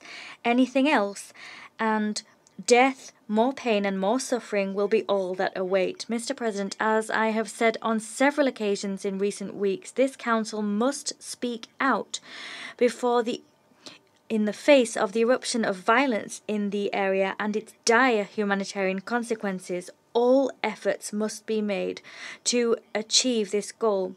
Particularly, we must achieve, reach agreements between those who have the power to prevent, with their will alone, the adoption of a decision which enjoys the majority support of this Council. It is timely to recall here that exercising greater power brings with it greater responsibility. The Council must bear in mind that this organization was born to defend the dignity and worth of the human person, to ensure that reason prevailed in international relations, and to create a better world for all. It is our obligation, Mr. President, to strive so that we can always discharge that mandate.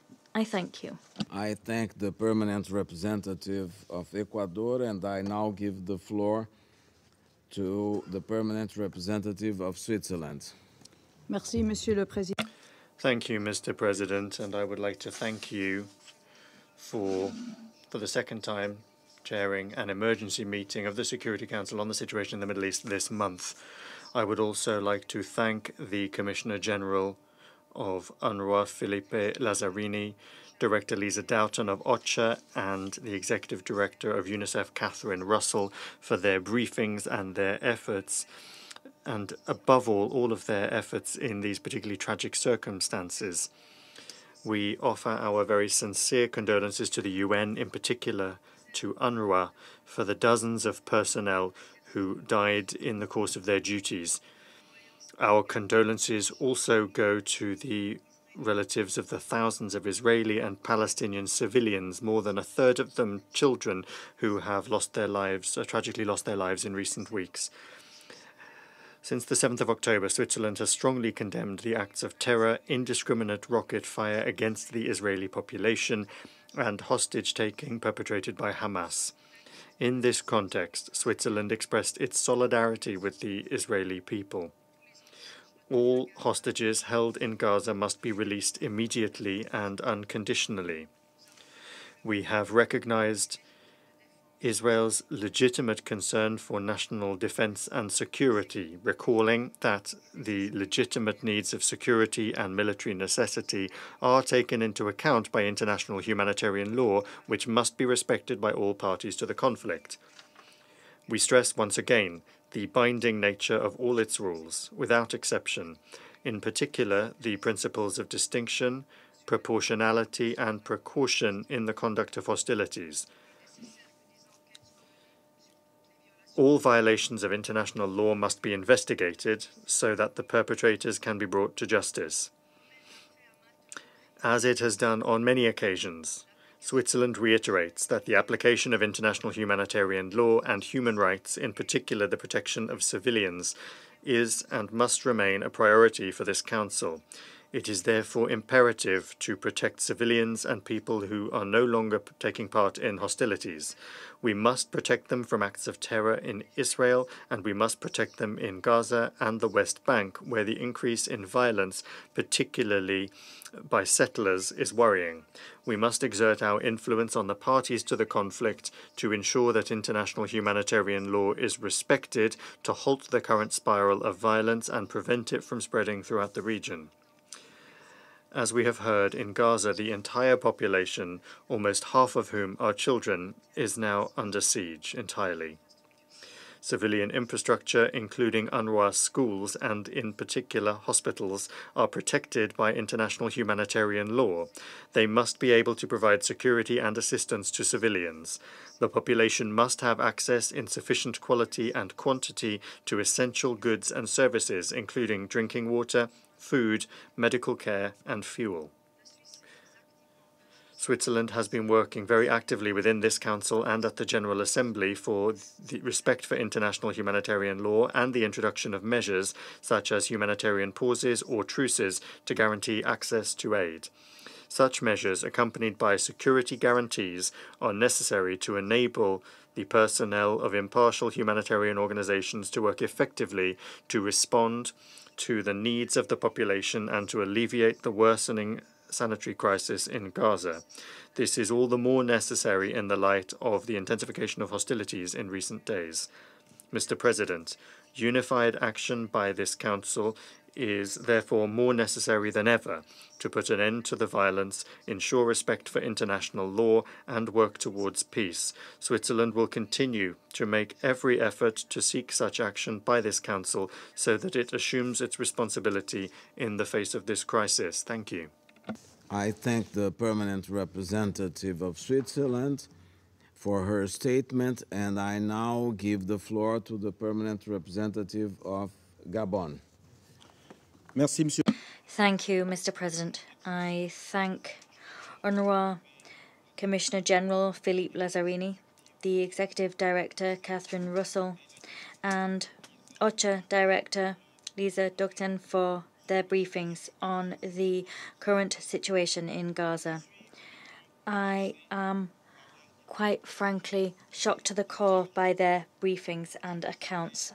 I wish to thank the United Arab Emirates and China for convening this emergency open briefing because we cannot, as a Security Council, remain unmoved in the face of the unbearable extent of the horror playing out before our eyes.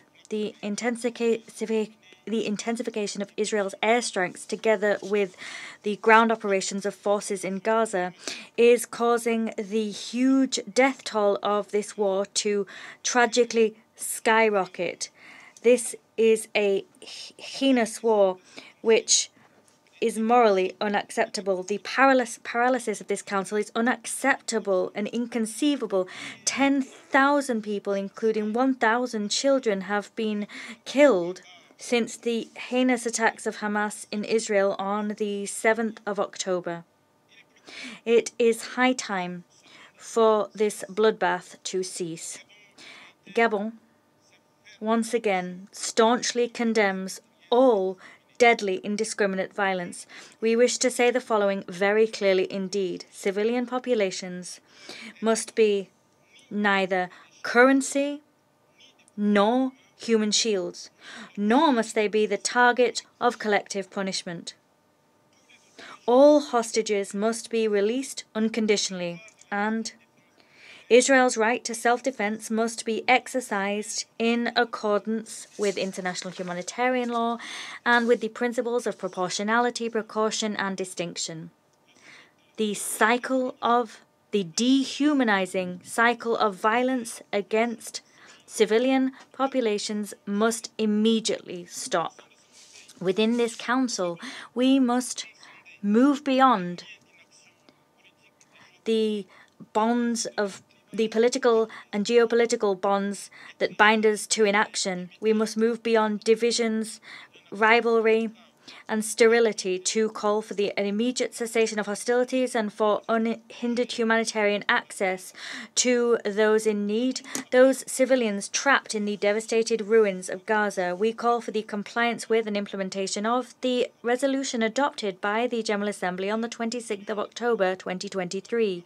We hail the efforts to restore calm undertaken by the countries in the region. At the same time, we reiterate the security, the Secretary General's appeal for a humanitarian ceasefire. We reiterate our appeal for restraint and encourage all states that have influence that they can bring to bear on parties to ratchet up efforts to bring parties to choose peace and to preserve human life.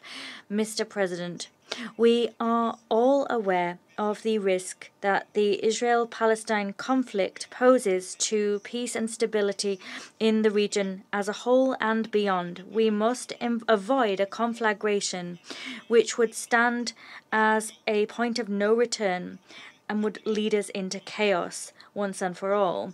To conclude, I wish to reaffirm my country's conviction that diplomacy, dialogue, and negotiation, with a central role played by the United Nations, are and remain vital channels to achieve a lasting solution to this deadly crisis. We reiterate our commitment to the two state solution. Thank you. I thank the permanent representative of Gabon for his uh, statement, and I now give the floor to the permanent representative of Malta. Thank you, President. I thank the briefers, today's briefers, for their stark briefings, and also thank and applaud your teams for your important work on the ground. Commissioner General Lazzarini, we convey our sincere condolences for the tragic loss of UNRWA staff in these past weeks. For years, the agency has been an important stabilizing force in the region. In recent days, your work has been nothing short of heroic, and you can count on our full support. President, Malta is gravely concerned by the desperate situation in Gaza such military operations will undoubtedly have a devastating impact on the, on the more than 2 million civilians trapped in the enclave. Let us not forget that these civilians were already perilously vulnerable and living in dire conditions. During these last days, thousands broke into UNRWA warehouses and distribution centers, taking wheat, flour, and other basic items. This illustrates how desperate the situation on the ground is and is worrying is a worrying sign that civil order is starting to break down. In parallel, Hamas continues rocket barrage into Israeli territory, with some reaching Tel Aviv. This is completely unacceptable. We unequivocally reject and condemn these barbaric attacks, including the 7th October attack and the taking of hostages. These are heinous acts of terrorism.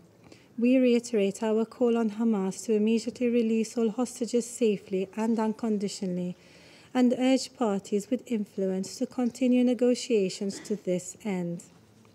Malta condemns all violence against civilians. All parties to the conflict are obligated to abide by international law, including international humanitarian and human rights law. They must take all feasible precautions to avoid and in any event minimize harm to civilians and civilian objects. These including objects indispensable to the survival of the civilian population. We are utterly devastated to note the effects the conflict is having on Palestinian and Israeli children. Thousands have perished, while the rest are suffering unthinkable psychological traumas we underscore that the killing and maiming of children, attacks on schools, hospitals, places of worship, and denial of children's access to humanitarian assistance are all grave violations. We also echo the concerns raised regarding the children being held by Hamas. We reiterate our call for their immediate release and for their special protection needs to be prioritized. President, the humanitarian crisis in Gaza can no longer be ignored. Urgent action is needed. This is why we voted in favor of the General Assembly resolution last Friday at the 10th Emergency Special Session. We welcome the provisions of this resolution calling for an immediate, durable, and sustained humanitarian truce leading to a cessation of hostilities. This is the minimum requirement to ensure protection of civilians. Meanwhile, we remain concerned that this Council has been unable to act in the face of this accelerating crisis. We echo the Secretary General's message that this is a moment of truth. Our immediate priority must be to address the unfolding humanitarian catastrophe and to reverse current escalations. We urge Council members to unite in good faith and act decisively for the sake of regional and international security. We also stress that it is unacceptable that humanitarian actors working through the most life threatening and extraordinary conditions to protect Gazan civilians also must contend with communications blackouts. Connectivity is of utmost importance, not only to the civilian population, but also so that aid responders can continue doing their critical work. Malta reiterates the call also made in the European Council conclusions for the continued, rapid, safe, and unhindered humanitarian access in Gaza, including through humanitarian corridors and pauses. All efforts made by international actors in this regard are welcome. Furthermore, we are alarmed at the precarious developments in areas outside of Gaza. It is critical that the international community works together to prevent a spillover which would further increase internal tensions and destabilize the entire region. Malta underscores that any lasting and sustainable plan for peace in the Middle East must be based on a two state solution in line with relevant Security Council resolutions and internationally agreed parameters. De escalation, restraint, and mediation are critical. The longer we fail to address these imperatives, the harder it will become to climb out of the abyss and towards the path of peace. Thank you. I thank the permanent representative of Malta for her statement, and I now give the floor to the permanent uh, representative of France. Monsieur le Président. Mr. President, I thank the Commissioner General of UNRWA, Executive Director of UNICEF, and the Office for the Coordination of Humanitarian Affairs for their briefings. The terrorist attacks by Hamas and other groups against Israel on the 7th of October have triggered an unprecedented crisis. The humanitarian situation in Gaza is tragic. Civilians are dying every day, including many children. The population is going hungry. The lack of water brings with it the risk of epidemics, and hospitals are overwhelmed. It is urgent that unfettered humanitarian access be guaranteed for the Gaza Strip that needs food, water, and electricity. The number of convoys must increase significantly in order to be commensurate with what is needed. A humanitarian truce is needed, which could ultimately lead to a, lead to a ceasefire. France has significantly increased its humanitarian assistance through the chartering of a special flight last weekend and welcomes the commitment of the Secretary General, the work of UN agencies, and the work of humanitarian actors on the ground who are working in extremely difficult conditions. Our most sincere condolences go to the United Nations following the deaths of 63 UNRWA staff members. Civilians must be able to leave Gaza without being uh, impeded from doing so, and we have constantly requested that for our own nationals and their families since the 7th of October. Nothing can justify the suffering of civilians who must be protected. All victims develop, uh, deserve our compassion, and all lives are valuable. Israel has the right to defend itself and the duty to do so in compliance with international humanitarian law, sparing the civilian population. France voted in favor of the resolution introduced by Jordan on behalf of the Arab group, which calls for a truce and humanitarian access and for the protection of civilians, which condemns terrorist acts and which calls for the immediate and unconditional release of hostages. And I recall our condemnation in the most energetic terms of the terrorist attacks by Hamas, which in no way represents the Palestinians and which has nothing but contempt for their suffering. I also reiterate our call for the hostages to be released immediately and without condition. Following this vote in the General Assembly, this Council must be able to fully shoulder its responsibilities and achieve a just decision based on our common principles. France will continue to work on the new draft resolution presented by Brazil so that it can be adopted quickly. Mr. President, the extreme severity of the situation in Gaza should not lead us to forget what is happening in the rest of the occupied Palestinian territory. France firmly condemns the violence perpetrated by settlers against the Palestinian population, acts of violence which are increasing in the West Bank. We call on the Israeli authorities to put a stop to this.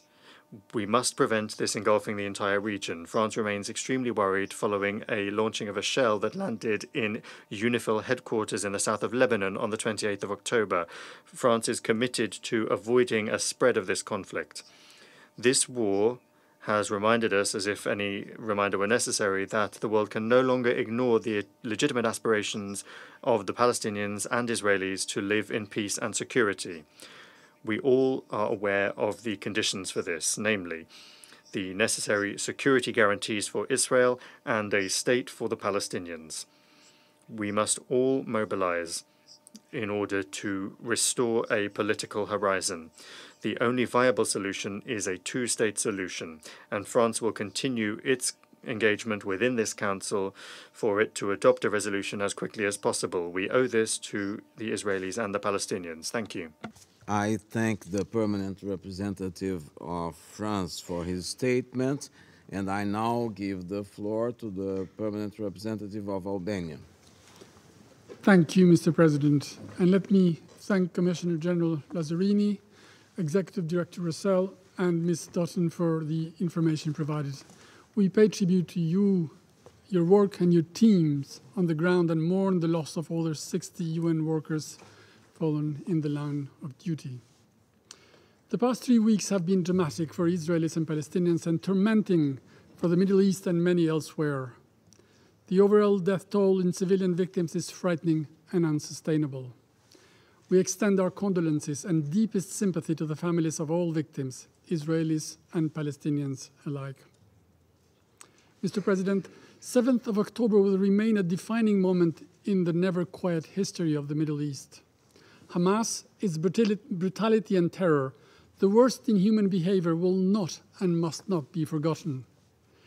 In the current utterly complex situation, there is an accumulation of competing urgencies the response to terror and the continued rocket launches from Gaza, the liberation of hostages, the protection of civilians, the provision of humanitarian help, and the increased risk of spillover of the conflict. Let me quickly go through each of them. First, in its exercise of the right of self defense, which we recognize and support, like for every other country under attack, Israel is determined to eradicate Hamas. It should not be portrayed mistakenly as a license to punish Palestinians. It is beyond any doubt that conducting warfare in such a densely populated area as Gaza is difficult, challenging, very demanding, and it must be conducted prudently, professionally, and in compliance with international humanitarian law. We profoundly regret every innocent life lost without distinction. While circumstances may be different, a loss is always a loss. Therefore, there is need for maximum precaution not to harm those who are twice in danger. First, from Hamas and their policies on one hand, and a fight they have not chosen on the other. It is therefore extremely important and urgent to do everything possible that civilian populations are not found in that hopeless place from where they, there is no escape. Second, nothing can ever justify abducting and holding hostages innocent people, children, women, and elderly, even less so using them as Hamas is doing. They must be liberated, they must be brought home. We welcome efforts from various actors in this respect and urge them to continue. Third, unhindered humanitarian help at scale must be urgently provided to all those in need. We cannot contemplate children dying in the hospitals because of the lack of medicine or electricity or water or lack of communications. We cannot contemplate lack of food for entire families, adding to an already difficult situation the total breakdown of law and order because of lack of basic commodities. The government of Israel has promised that soon aid will flow in abundance. It should happen immediately. Those who are spared from the fighting do not need to die from hunger. Colleagues, we try to put ourselves in Israel's shoes, feel the trauma of terror striking with a ferocity we cannot forget, faced with an, with an existential question with countries and proxies that seek openly to destroy it. I don't think anyone here or anywhere would feel at ease knowing that your next door neighbor is just waiting for the right moment to kill you. How can this not bring back horrible memories that fear and, and anxiety summarized in the Never Again pledge. But we also put ourselves in the very same way, in the shoes of the Palestinians, feeling the unexplainable pain of civilians caught in the midst of a war that has befallen on them, a war first imposed by Hamas and the likes, decided elsewhere by their masters who are rubbing their hands in the face of casualties they had anticipated and hoped for in a turmoil of all dangers. We feel for Palestinians for, who, for decades, at every time they neared to the horizon of their future with their state, those against would always be quicker to disrupt it and push it further away. We feel for those thousands on both sides of this terrible divide who have lost their loved ones, the families of the hostages, and all those torn apart by death and grief and the insecurity of tomorrow. Wars are sometimes unavoidable because imposed, but they are always brutal. They bring inevitable destruction. They cause victims and sadly often casualties among those who don't deserve it. But even wars have laws and they must be respected. We believe and trust that there is a way, there, there is and must be a way to ensure the security of Israel and its people while ensuring the security of and, of, and the perspective of all Palestinians who do not want war. Colleagues, beyond the tragedy unfolding in Israel and Gaza, the magnitude of the human suffering is impacting people across borders and identities, and we notice a sharp increase in the hate and division, including the threat of terrorism and targeted violence. This sharp and often confusing polarization fails to acknowledge our, human, our common humanity and that the killing of innocent civilians, regardless of religion or ethnic background, is wrong, unacceptable. The frightening images of the bloodthirsty mob yesterday in Dagestan hunting for Jewish people is another appalling illustration of intolerable and appalling rays of anti Semitism. No one should stay indifferent to rallies, to allow rallies where people chant, kill the Jews or destroy Israel. This is why there is so much need for wisdom responsibility, and action on the ground and from this Council. Because otherwise, confusion, hatred, tension, and violence will continue, not only in Gaza and the West Bank, but also elsewhere in the Middle East and beyond, dividing societies, fueled by strong emotions, ideologies, and beliefs, overpowering cold minds and reason, and overshadowing forward looking perspectives. Last but not least, Mr. President, the serious risk of spillover. Hezbollah is playing with fire, and attacks from the northern border are becoming more and more threatening. If this continues, it may be a matter of time before the irreparable point is reached. It must be resisted since it will only bring the region and all the countries involved near a catastrophe. In this respect, we're also very concerned for the situation in the West Bank. We condemn the extremist settler violence on Palestinians, which is totally unacceptable. Such acts must be fully investigated and those responsible must be held accountable. Mr. President, in the face of so much complexity and adversity, we think it is urgent to start thinking about the Gaza of tomorrow, the Gaza without Hamas, without extremists. There is need to offer Palestinian civilians in Gaza a perspective, a new organization of life under a new administration. Hamas has let them down. Hamas has brought war to them. Hamas did not bring them prosperity because it invested in tunnels and rockets, in hatred and death. We need to start thinking how the fabric of the society can be repaired so that the children know that what shalom means instead of being raised with and repeating death to the Jews. If not, the Hamas of today will only be replaced by the Hamas of tomorrow, maybe with another name, but with the same hatred, the same ideology, the same goals embroiled in a never ending cycle of hurting the other, acting falsely in the name of God they disrespect, and acting falsely in the name of a future they simply oppose. This is why there is a need to revive the political process as soon as possible, because in its absence there will only be unhappiness, poverty, discrimination, hatred, tension, never ending violence, victims, and, is, and as it has happened many times, exploitation by terrorists, extremists, and their supporters. And let's not fool ourselves the next war will be only deadlier. But it is preventable if we all work together with conviction and in good faith for peace, for lasting peace. And I thank you. I thank the permanent representative of Albania and for his statement, and I now give the floor to the permanent representative of Mozambique. Thank you, Mr. President. Mozambique thanks the Brazilian presidents for timely convening this meeting. We also thank the briefers, Mr. Philippe Lazzarini, Commissioner General of United Nations Relief and the Workers Agency for Palestine refugees in East, in East Ms. Ms. Lisa Doughten, OCHA's Director of Humanitarian, Financial, and Resource Mobilization Division, and Mrs. Catherine Russell, Director, Executive Director of United Nations Children Fund, for their insight and update on the current situation in the Gaza Strip. Mr. President, a glue and tragic situation is taking place in Gaza.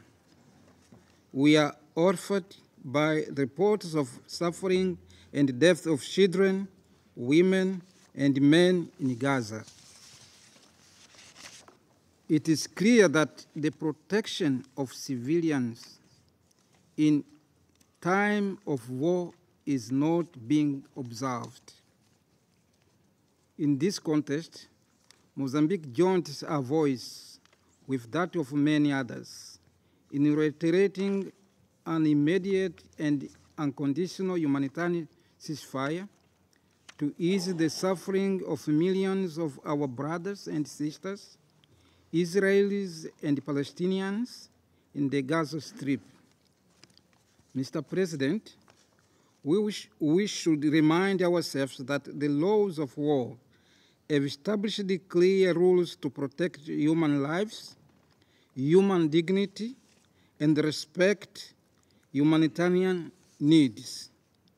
These laws cannot augured or sidelined under any circumstances.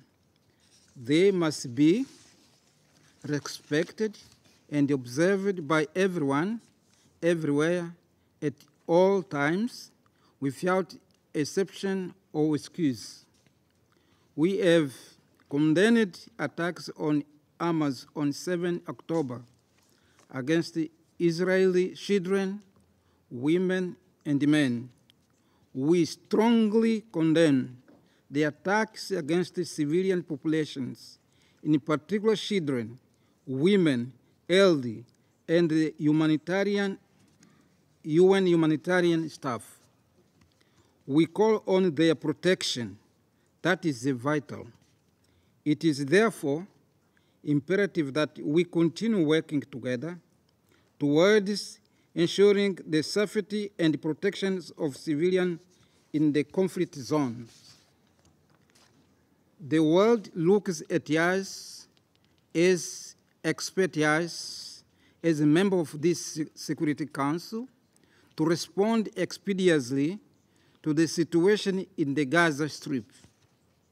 The United Nations awaits actions and leadership from this Council.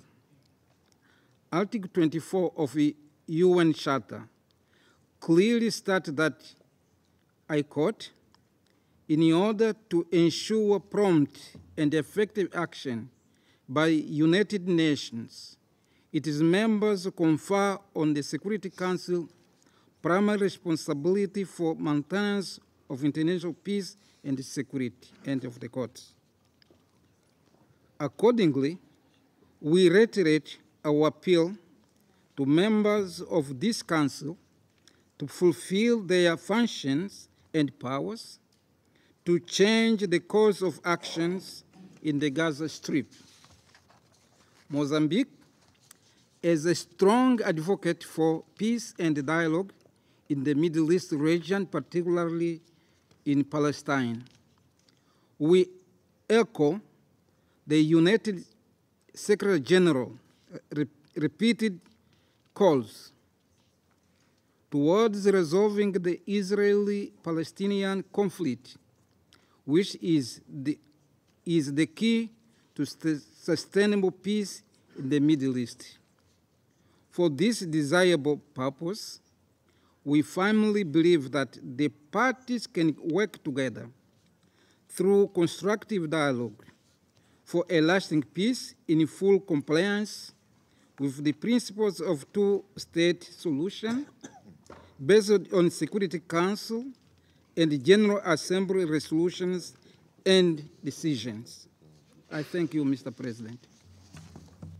I thank the permanent representative of Mozambique, and I now give the floor to the permanent representative of the Russian Federation. Mr. President, distinguished Mr. Minister, we fully support the convening by the delegations of the UAE and China of this emergency meeting of the Security Council on the humanitarian situation in the Gaza Strip. We were extremely concerned to hear the assessments of the situation on the ground from the Commissioner General of UNRWA, Philippe Lazzarini, UNICEF Executive Director Catherine Russell, and OCHA Director Lisa Doughten. Colleagues, the time has come to call things by their names on the occupied Palestinian territory, the West Bank of the Jordan River and the Gaza Strip, a humanitarian catastrophe of biblical proportions is unfolding. According to incoming information, the number of people killed in the enclave has exceeded 8,000, half of which are children, women, and older persons. More than 2,000 people are buried under the rubble, half of which are also children. More than 21,000 people have been wounded the number of internally displaced persons in Gaza has reached 1.6 million people. In UNRWA camps alone, there are 640,000 Palestinians. In the West Bank, more than 100 people have been killed and 3,000 have been injured. These chilling numbers are growing by the hour. We express our gratitude to all humanitarian workers on the ground that are working to exhaustion with uh, a catastrophic lack of basic, uh, including medical supplies and also with an extremely high risk to their own lives. The scale of losses from UN agencies is shocking. 63 staff members have been killed, 22 have been injured, and 42 UNRWA objects have been destroyed. And we pay tribute to the UN staff that continue to work in unimaginable conditions and to those that have paid for this with their lives. According to media reports, during Israeli shelling on the Blue Line, two peacekeepers from the UN Interim Force in Lebanon have been wounded. The largest hospital in Gaza, Al Quds, is under the threat of attack from the IDF. The Israeli Air Force is launching strikes uh, 50 meters from facilities, demanding immediate evacuation. Almost 640,000 IDPs have found refuge in 150 UNRWA sites across the Gaza Strip. As a result of the bombing, nine hospitals are enti entirely unusable, and the remaining ones are experiencing an acute lack of medicines. The blockade of the Gaza Strip has essentially become total in the enclave, internet and mobile service has been switched off. It has been quite simply cut off from the rest of the world. Nobody knows accurately what is exactly happening there. This sort of blockade not only is sowing greater panic among the civilian population, it is directly undermining the work of medical and rescue services, uh, which means it is leading to more civilian casualties.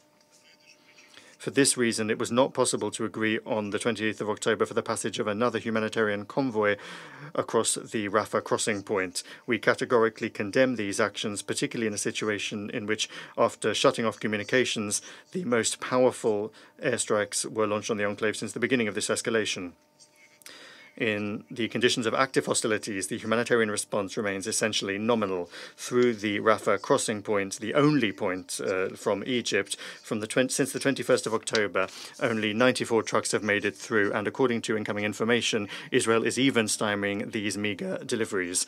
As a result, in the Gaza Strip, there is an acute lack of everything water, fuel, food, medicines, and people are frightened and have been driven to despair on the 28th of October, according to on, upon the decision of the military political leadership of Israel, the armed forces of that country, ignoring the position clearly expressed by the international community in the UN General Assembly resolution adopted the previous day, began a ground operation in the Gaza Strip. After extremely intensive airstrikes, the Israeli army began to enter the territory of the enclave from several directions in the south near Bureij refugee camp and Khan Yunis, and in the north near Beit Hanun. Colleagues, the Israeli authorities have uh, different ways of describing their actions, expanding operations or preparing a bridgehead, but that's not the point. The point is that despite the unambiguous reaction around the world, West Jerusalem has begun the practical implementation of its plans to clear the enclave. In response, we have heard from the head of the Israeli Foreign Ministry saying that Israel rejects outright the UN's despicable call for a ceasefire. End quote. These comments uh, did not go unnoticed as well. The comments from the permanent representative of Israel saying that UN has lost its legitimacy. There are shocking statements from a number of representatives in the Knesset that have been broadly circulated in the media saying that, and I quote, there is no symmetry in the Israeli response and that, and I quote, the children of Gaza have brought this upon themselves, end quote. Unfortunately, this clearly shows that Israel is demonstratively ignoring the opinion of the overwhelming majority of UN members, including many Western states, regarding the need for an end to the violence. This uh, appalling situation has also been brought about because, due to the US position, the Security Council has essentially been paralyzed and has still not been able to adopt a resolution with an immediate demand for a ceasefire. We have twice made attempts to do so, but Washington and Western Jerusalem have entirely other plans to wipe out the population of Gaza or to force them out of the Gaza Strip and to force the remaining Palestinian population to assimilate uh, into Israel so as to resolve the Palestinian problem that way. In the context of unprecedented, uh, the unprecedented scale of the escalation of the Palestinian-Israeli conflict, we also have to note the current rise in tensions on the Syrian-Israeli border, which is linked to the active external interference coupled with the illegal military presence of the USA in the north and northeast of the Syrian Arab Republic. On the 26th of October, U.S. forces, upon the instructions of President Joe Biden, launched strikes on two objects uh, in the Abu Kamal area in the east of Syria. Washington said that the attack was undertaken in exercise of their so-called right to self-defense, uh, American style and uh, this is th uh, thousands of kilometers from U.S. territory. These illegitimate and in no way justified actions by Washington are nothing other than a gross violation of Syria's sovereignty and the norms of international law. In the present circumstances, such an illegitimate use of force could have extremely dangerous consequences because it could provoke an armed escalation encompassing the entire region. Colleagues, the time for half measures and half hearted glib appeals is past. No humanitarian pauses will help. Humanitarian assistance cannot be provided in the height of hostilities on the ground. I hope that everyone here understands that. The number of victims among the humanitarian workers is running into the dozens. Ambulances have been bombed, and those that are left are unable to operate due to a, a lack of fuel all noble humanitarian passages are, of course, important, but in and of themselves, they're not going to stop the war. The priority of the global community now is to stop the bloodshed, to minimize the harm to the civilian population, and to move the situation into the political diplomatic sphere. There must be a consolidation of collective efforts aimed at relaunching a fully fledged negotiating process between Israelis and Palestinians with the aim of realizing the UN endorsed two state solution. Upon the basis of that, an independent Palestinian state should be created in the 1967 borders with East Jerusalem as its capital, coexisting in peace and security with Israel. Mr. President, I would like to ask the permanent representative of the USA a question. Can you explain why you oppose a ceasefire? Does this mean that the USA, as a permanent member of the Security Council, uh, supports the doctrine of massive retaliation in Gaza? Where is your compassion for civilians that you so eloquently express at every Security Council meeting on Ukraine? And that's even though the lives of civilians in Ukraine are far from facing the same level of threat as Palestinians in Gaza. Or is it that you only uh, think about what's uh, those who are in the European continent and that Palestinian lives don't stir any emotions in Washington? I would like to put the same question to the other Western delegations in the Council, who shamefully abstained on all of our draft resolutions calling for a ceasefire. Colleagues, your double standards are more than evident. The populations of your own countries are now calling for an answer to that, where there are mass demonstrations in support of Palestine. In this situation, the Russian Federation is making intensive efforts to de-escalate the situation on the ground, aimed at rapidly resolving the crisis. In all, uh, we have sent a clear signal to all of the parties involved. There must immediately be an end to the fighting and the ensuring of humanitarian corridors for the emergency provision of humanitarian of assistance to all those who need it. And President Putin has been extremely clear. We categorically will not accept and condemn any terrorist acts. We express condolences to all those who have lost their loved ones in Israel and in Palestine and in other countries. But while condemning terrorism, and the taking of hostages and demanding their unconditional release. We categorically cannot agree that the threat of terrorism can be responded to while violating the norms of international humanitarian law, including the indiscriminate use of force on objects of civilian infrastructure where civilians are known to be located, and alongside addressing the urgent tasks to end the current escalation of violence, we must immediately begin to agree on a strategy for collective actions for a political settlement to the conflict. In the past, this was done by the Quartet of International Mediators. However, the USA has done everything to undermine this effective instrument. On the agenda is establishing a collective mediating mechanism with an active role for states in the region. This is supported by the positive trends that uh, before the previous uh, escalation, the current escalation in Gaza were evident in the Middle East. The Saudi-Iranian normalization, the reintegration of Syria into the League of Arab States, and the steady improvement in interstate relations between Syria and Turkey. All of this proves, and Turkey, excuse me, all of this proves that the countries in the region are, when they take the, the situation in hand, and are not subjected to pressure from outside the region, they can achieve a great deal to stabilize the Middle East. Given the growing escalation in the Palestinian enclave and the unthinkably vast uh, consequences for the civilian population, which is cut off from outside supplies, we believe it is important to hold regular open briefings such as the one today. The humanitarian situation in the Gaza Strip, without any discrimination, must remain within the focus of our constant attention as takes place in the context of other crises. Mr. President, some colleagues trying to shift the focus from the tragic events surrounding the Palestinian-Israeli conflict uh, touched upon the 29th of October incident in Makhachkala airport in Dagestan in Russia. Exhaustive comments on this have already been provided by the Russian leadership and representatives of the regional authorities and the Muslim leadership. Assessing the actions will be provided by the Investigative Committee of Russia, which has in, launched criminal cases into this disorder. Dozens of people participating in this disorder have already been arrested and questioned. It's clear that any illegal actions are unacceptable. However, attempts to paint an unsanctioned action in the airport as an outbreak of uh, anti-Semitic uh, feeling in Russian society, particularly in the North Caucasus, is unacceptable. This region has long been an example of the peaceful and friendly coexistence of those from many different uh, peoples. In Russian society, unlike Western societies, the um, principles of uh, tolerance and religious and racial grounds are, are, are well rooted. In our society, there is the coexistence of the representatives of all of the main faiths Christianity, Islam, Judaism, and Buddhism as is confirmed by data from the uh, Russian security services. The events in Makhachkala are clearly seen uh, uh, clearly shows signs of external interference, including information uh, interference through social networks. And the traces of that, you will be not surprised at all, come from Ukraine. Some wish to abuse the situation and play on the feelings of Muslims in Russia by showing terrible pictures from the Gaza Strip, showing the horrors that are taking place there, the deaths of women, older persons, children, and medical workers.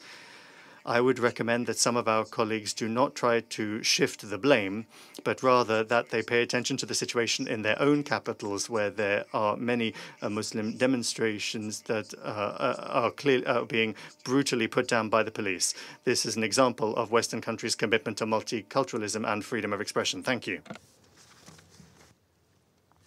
I thank the permanent representative of the Russian Federation for his statement, and I now give the floor to the permanent representative of the United Kingdom. Thank you, President. I'd like to thank Commissioner General Lazzarini, Executive Director Russell, and Director Doughten for your stark and clear briefings. Let me start by recognising the courage, commitment and sacrifice of UN employees and humanitarian workers in Gaza, and in particular, the 103 aid workers, including the 64 UNRWA staff who have been killed in Gaza in the last 22 days.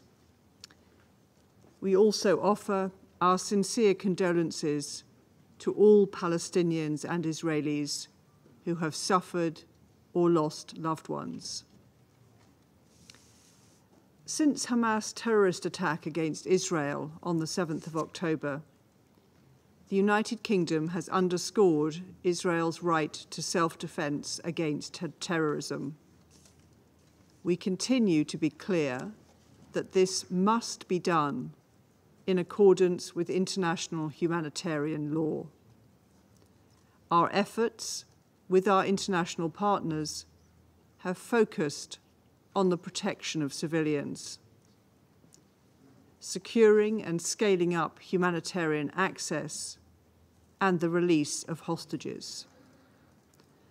Sadly, despite these efforts, the situation in Gaza deteriorates daily. Hamas bears sole responsibility for starting this conflict. President, I'd like to highlight three priorities. First, we call on all parties to respect international humanitarian law, including the principles of proportionality, distinction, and necessity. This requires all parties to take every possible step to avoid the harming of civilians and the immediate and unconditional release of hostages. Second, we must urgently cooperate to scale up aid into Gaza and to ensure sufficient access points are open. For this to happen successfully, there needs to be a safer environment, which necessitates humanitarian pauses. We support UN led efforts in this regard. Since the latest escalation in Gaza, the UK has committed over $36 million in additional aid to the occupied Palestinian territories.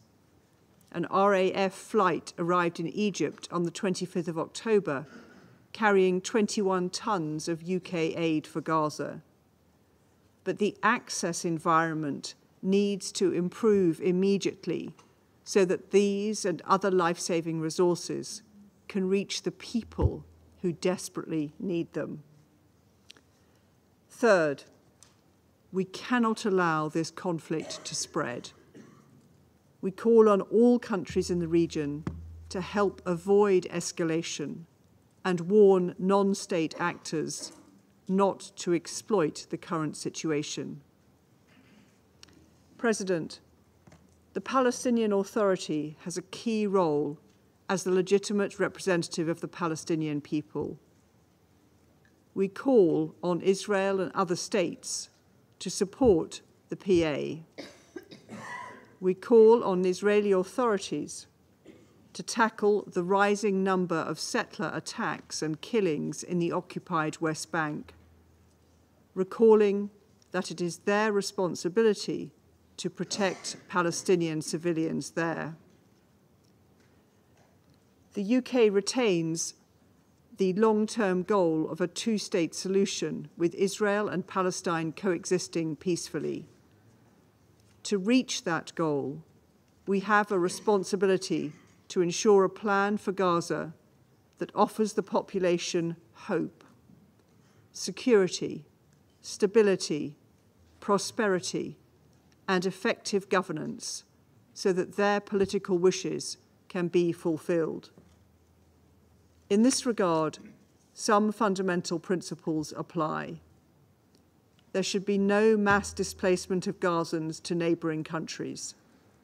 The Palestinian Authority should play a central role, and nothing should be done that cuts across progress towards a two state solution with Gaza as an integral part of a Palestinian state. Thank you, President. I thank the permanent representative of the United Kingdom for her statement, and I now give the floor to the permanent representative of Japan.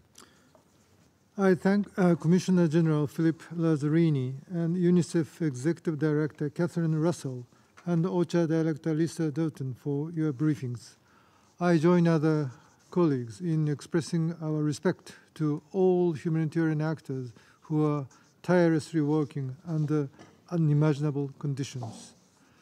Mr. President, since October 7th, thousands of people have been killed and wounded the tragic sequence of events shows no signs of abating, descending further into a devastating cycle with unimaginable losses of life and the destruction of civilian facilities. Just recently, Israel announced the expansion of its ground operations in Gaza. Japan has been paying careful attention to the situation with grave concern. Japan has expressed unequivocal uh, condemnation to the terror attacks committed by Hamas and other militants and extends its sincere condolences to all victims. We demand the immediate and unconditional release of the remaining hostages.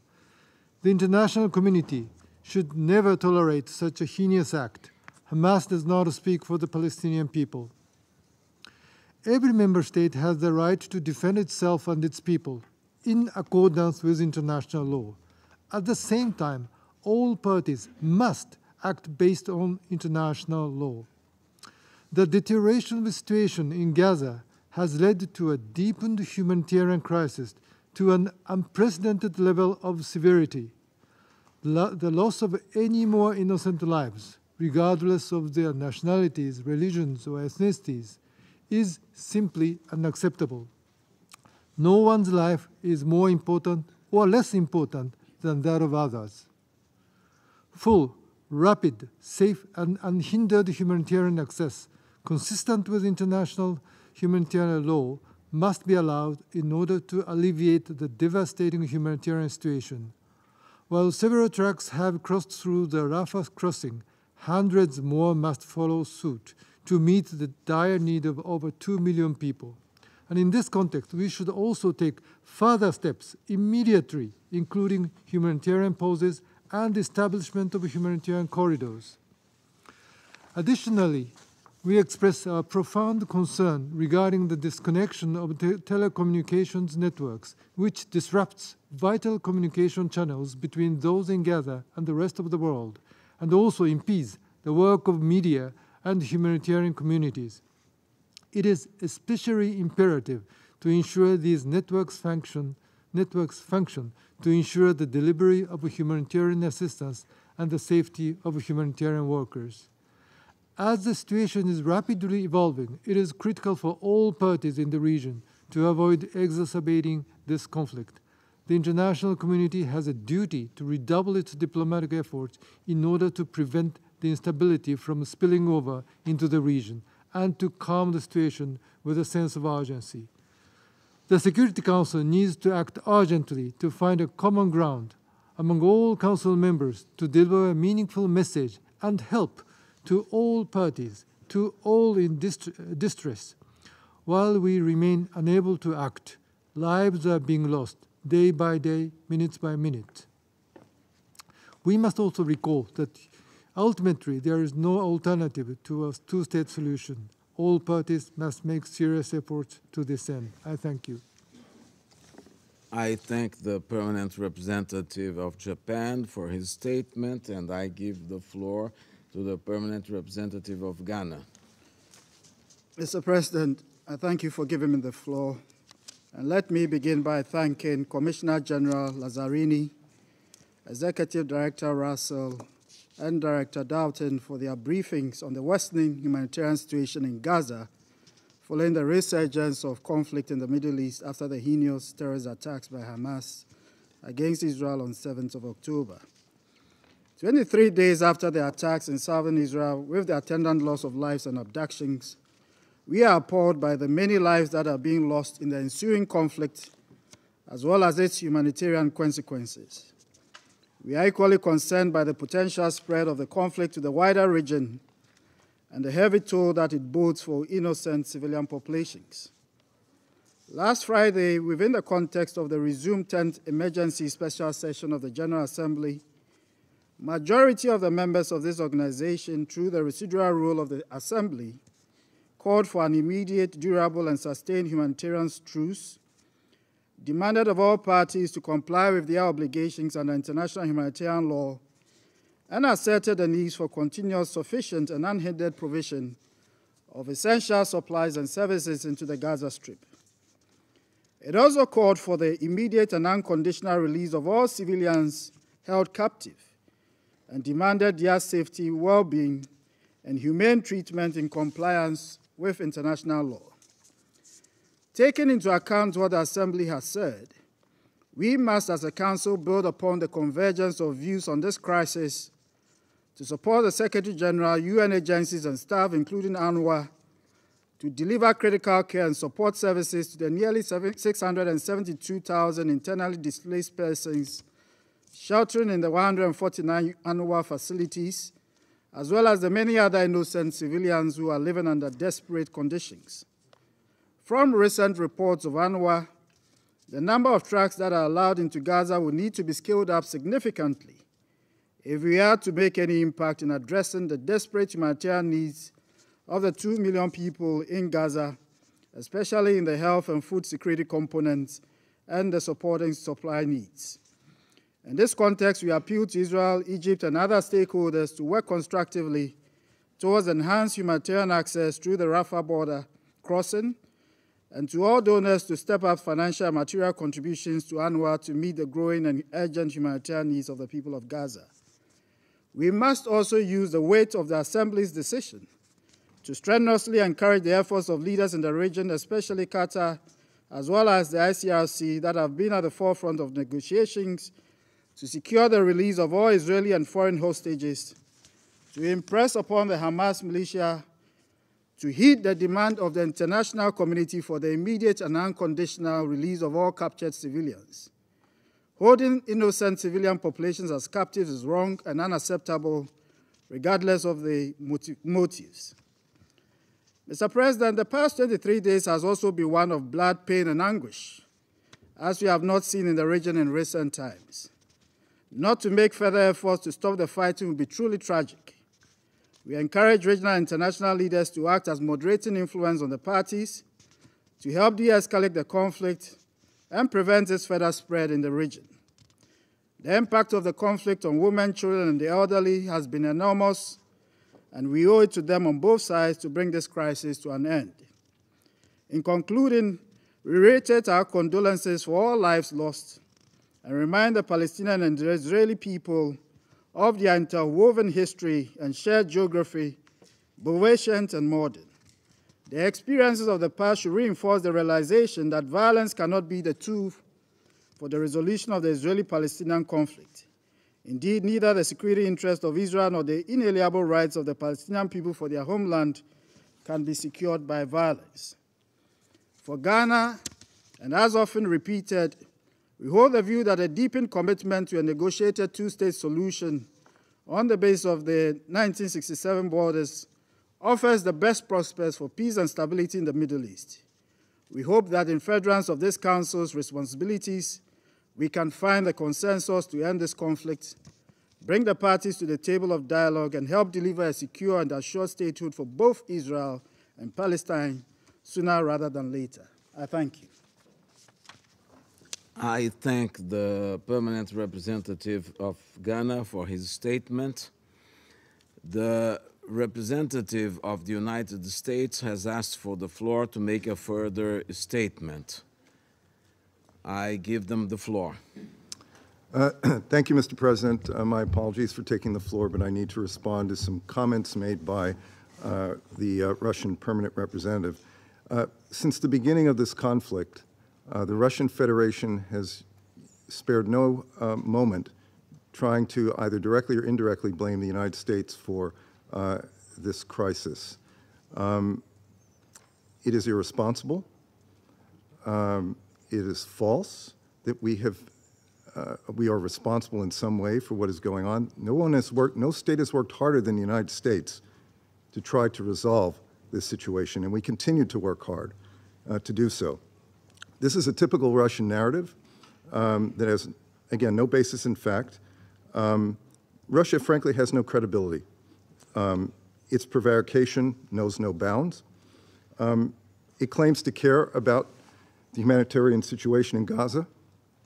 Uh, I, I think it's pretty clear. Russia doesn't care about solving crises, humanitarian crises, it creates them. If you have any doubts, just look what's going on in Ukraine. Regarding U.S. actions in, in Syria, uh, we responded to attacks against U.S. personnel acting in self-defense under Article 51 of the UN Charter. I think Russia will recall the UN Charter.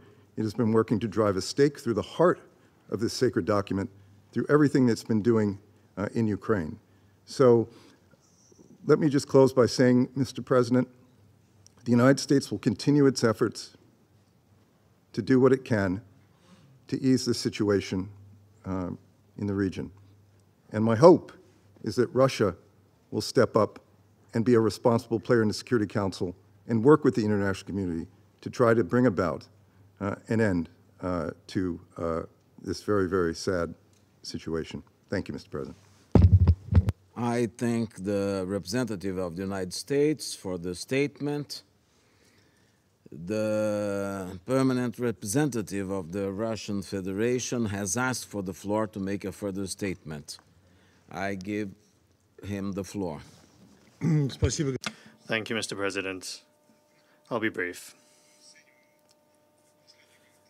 And taking stock of the latest comment from my American colleague as an admittance, uh, we didn't hear a response to the question that we put to him, but I would like to put a rhetorical question to him which I don't require an answer to because it's a rhetorical question and the answer is, is obvious anyway.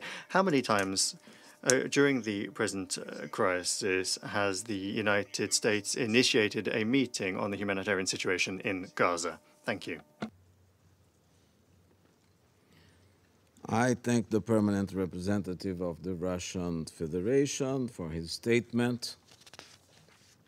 I now give the floor to the permanent observer of the Observer State of Palestine. Mr. President, I want to begin by welcoming you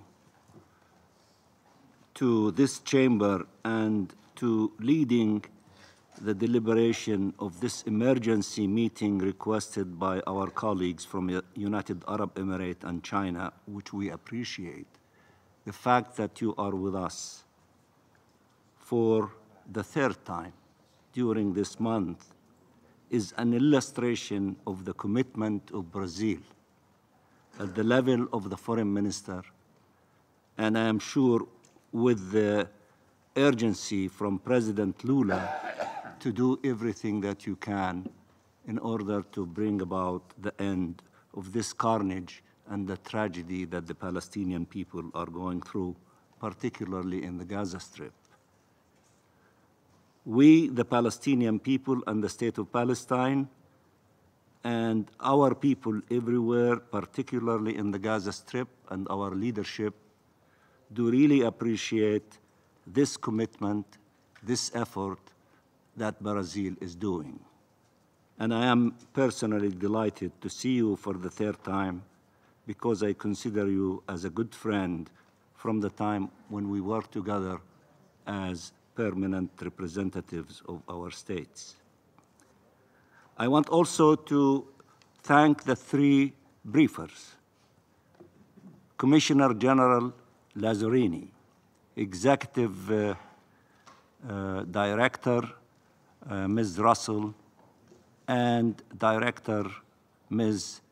Doughten for their briefings and the, for their moving calls.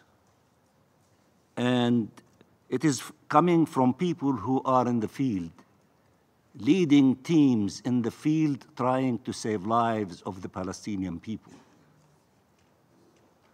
we don't only uh, express our gratitude and appreciation for what they do, and also receive with them accepting condolences for those who have lost their lives and paid the ultimate price for trying to save the life of the Palestinian people. They are the best faces of the United Nations.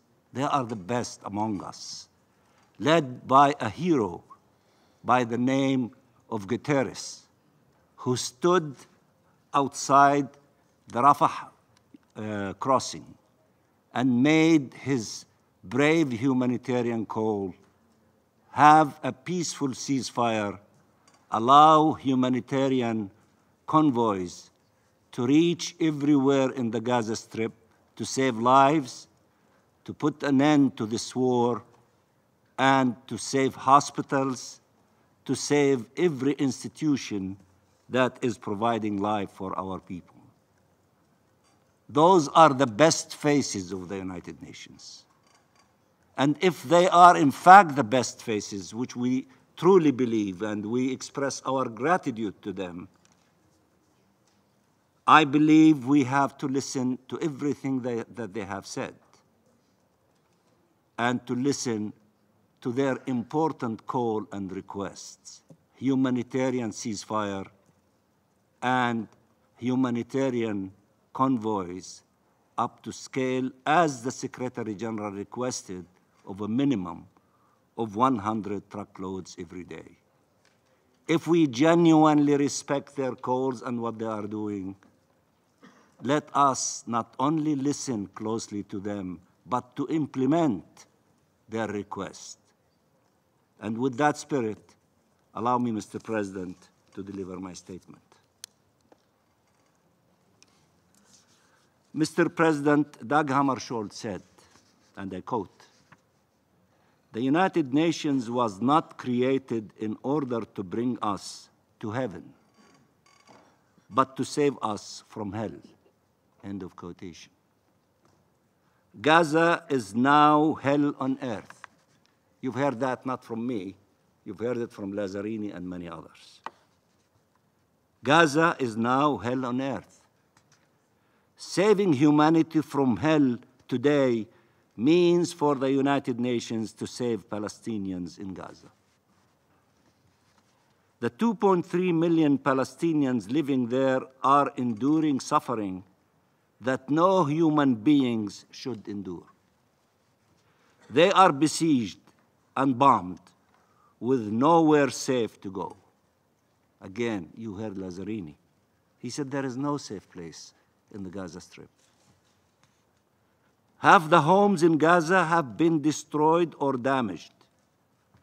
Gaza population is comprised of 70% of refugees. Over 1.4 million Palestinians have been forcibly displaced from their homes. Again, Mr. Lazzarini. Now, virtually all of our people in Gaza are homeless displaced, moving from one family home to another, from a hospital to a church, from a mosque to an UNRWA school, sleeping in their cars, sleeping in the streets, and still being killed wherever they go to convince them they will not be safe anywhere in Gaza.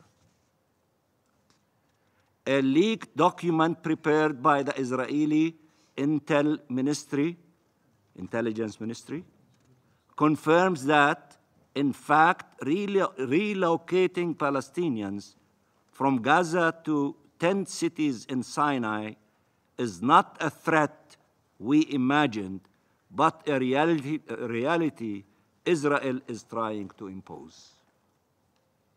They want do, to depopulate the Gaza Strip completely from the entire population and throw them in the lap of Egypt in the Sinai desert. Over 8,000 Palestinians have been killed, including over 3,000 in the south of Gaza, where Israel has pushed forcibly transferred hundreds of thousands of people. These staggering figures keep rising with every minute that action is delayed to stop the onslaught against our people. One figure more than any other explains the magnitude of this man made tragedy. 3,500 Palestinian children have been killed by Israel in just three weeks.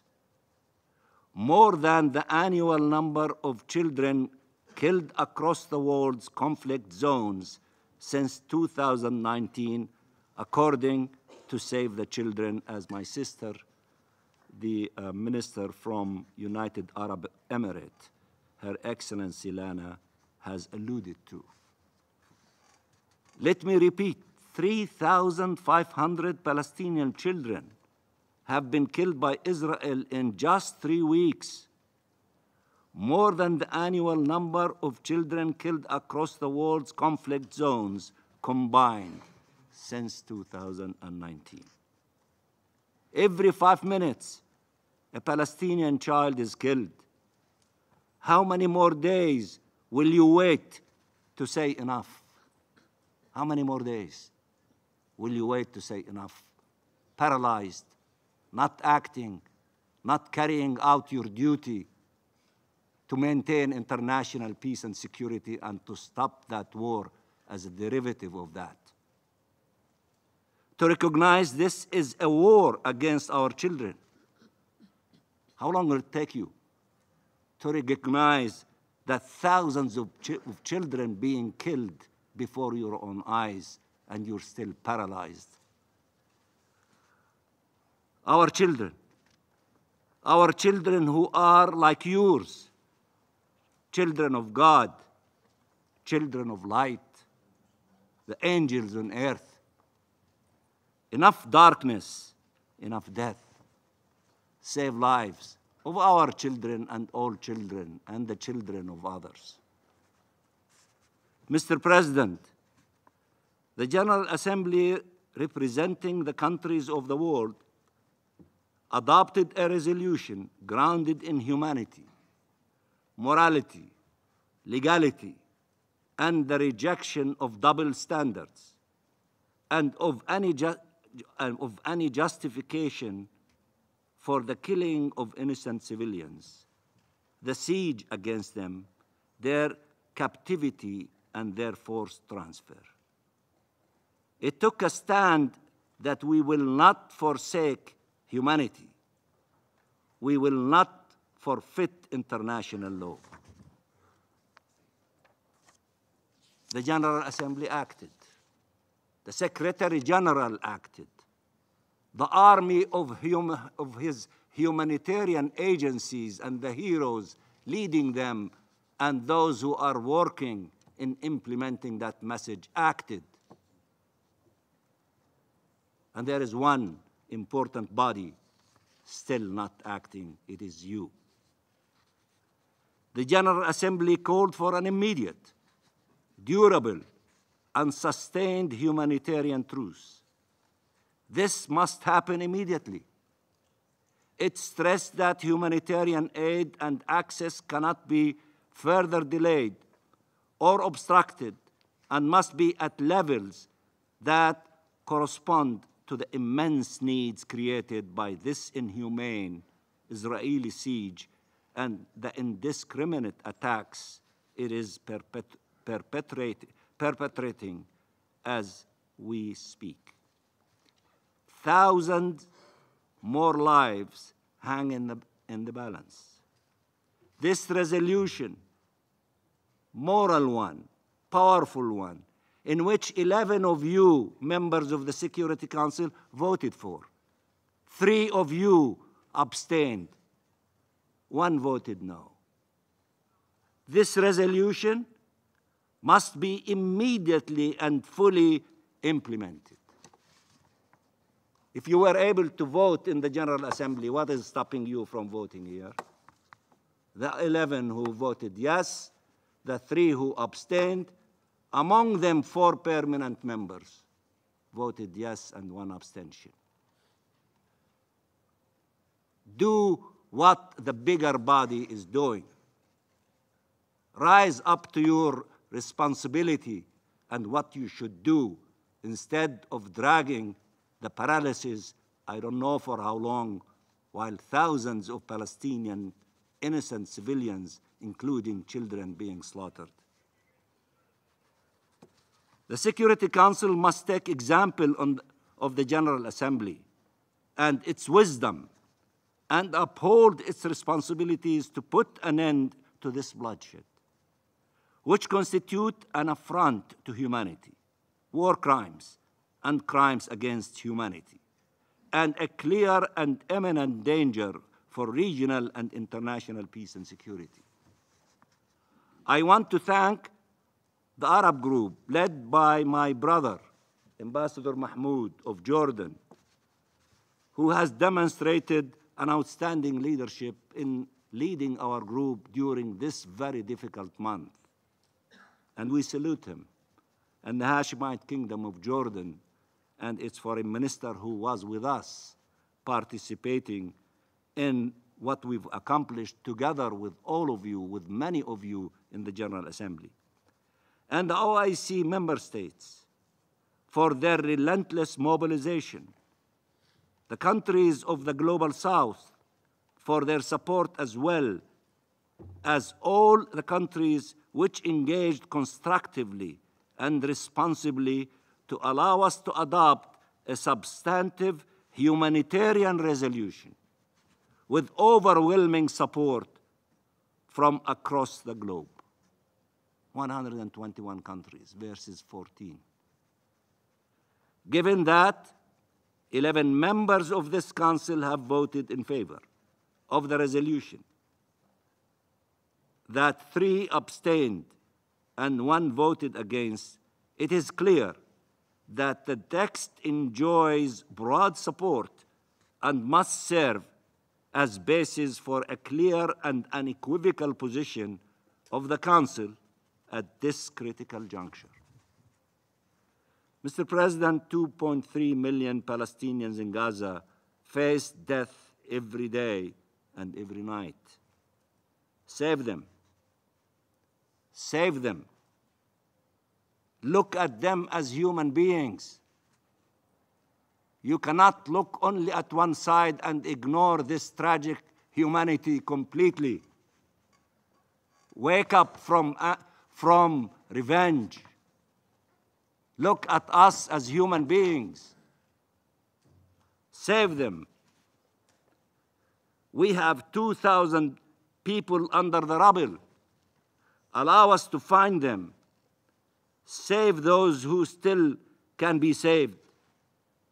And bury in a dignified manner those who have perished. Allow the 20,000 wounded to be properly treated allow doctors to fix broken bodies, and God to heal wounded souls. Allow humanitarian workers, the brave ones, the heroes, to perform their life saving duties, even as they mourn their colleagues. 64 alone among UNRWA as staff killed in Israeli attacks. Allow them to conduct their sacred mission in safety and not under the bombs. Allow hospitals to resume their work to save lives and not be transformed into morgues. Allow members of the same families who have survived, who, who have survived to embrace each other and to mourn their loved ones who did not. Allow us to pay the tribute owed to the families wiped off the face of this earth and whose names join the long list of bereaved families etched in our collective memory. Allow people who will have homes standing to go home and allow millions of people to start thinking once more about how to rebuild their lives despite the depths of the death, devastation, and destruction they endured, despite the indelible traumas. Treat us as human beings with the respect we deserve. We are not subhuman beings. We are not from another planet. We are exactly like each and every one of you. We are humans, human beings. Treat us in this manner with respect we deserve. Show respect for our inherent dignity, not in words but in deeds, in action, in doing something to stop this crime against our people and our children and our women and our wounded and our sick. No one should justify our killing or find reasons to give more time to the killer. Call for an end of this assault on an entire nation. Stop the killings in the West Bank by settlers and occupation forces and the forced displacement underway there. Palestinians, as human beings, have rights that must be upheld and they are entitled to protection and we are entitled to be defended. Many of you talk about one narrative, about one state to defend itself. When our children are being killed, do we have the right to defend them?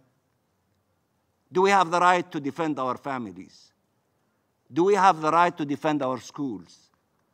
Do we have the right to defend our mosques? Do we have the right to defend our churches? Do we have the right to defend our homes and our soil and our nation?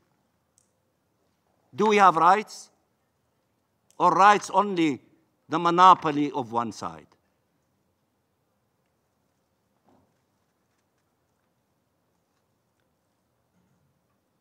Our people have, as a people, rights that have long been denied and must now be recognized so we can all live in peace and security.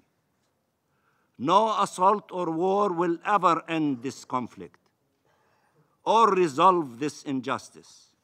It will only deepen and widen it. We have said time and time again there is no military solution to this conflict. We are yet to, dem to demonstrate there is a peaceful one. And I listen to you all the time. And you tell me about the two state solution. And you repeat it. And you repeat it. And you repeat it. But you don't tell me what single step you are willing to take in order to stop the other side from destroying the two state solution before your eyes. Isn't it enough to wake up and say the resolution that you adopted that calls for the implementation of the two state solution show resolve to implement these resolutions? You are the Security Council. Are you continuing to be paralyzed or you want to act on the advice you're giving me, you're giving the Palestinian people. Two state solution we accepted, implement it. Who is stopping you from implementing it? Who is stopping you from uh, taking steps in order to push the occupation to an end, to allow for the independence of the state of Palestine? Who is stopping you? Don't keep repeating to me two-state solution. Tell me how you are going to defend it and how you are going to implement it. So that can our people believe you and have faith in what you are saying and respect what you call for when they see you marching toward the implementation. And whoever is standing on the path of the implementation of your will should be removed from the way so that we can see the implementation of the two-state solution. based on your resolutions, based on international law, based on the terms of reference. You agreed into all these things, but you're not acting. You keep repeating them, and you think by repeating them, you did your duty. No, you have to do more. You have to take the practical steps for allowing the two-state solution to become a reality. We have said time and time again, I repeat, there is no military solution to this conflict. We are yet to demonstrate there is a peaceful one. Prove us wrong. Every minute counts. Every minute is the difference between life and death for Palestinians in Gaza. And I thank you very much, Mr. President, and I hope that there is a short period of time till the end of this, uh, your presidency.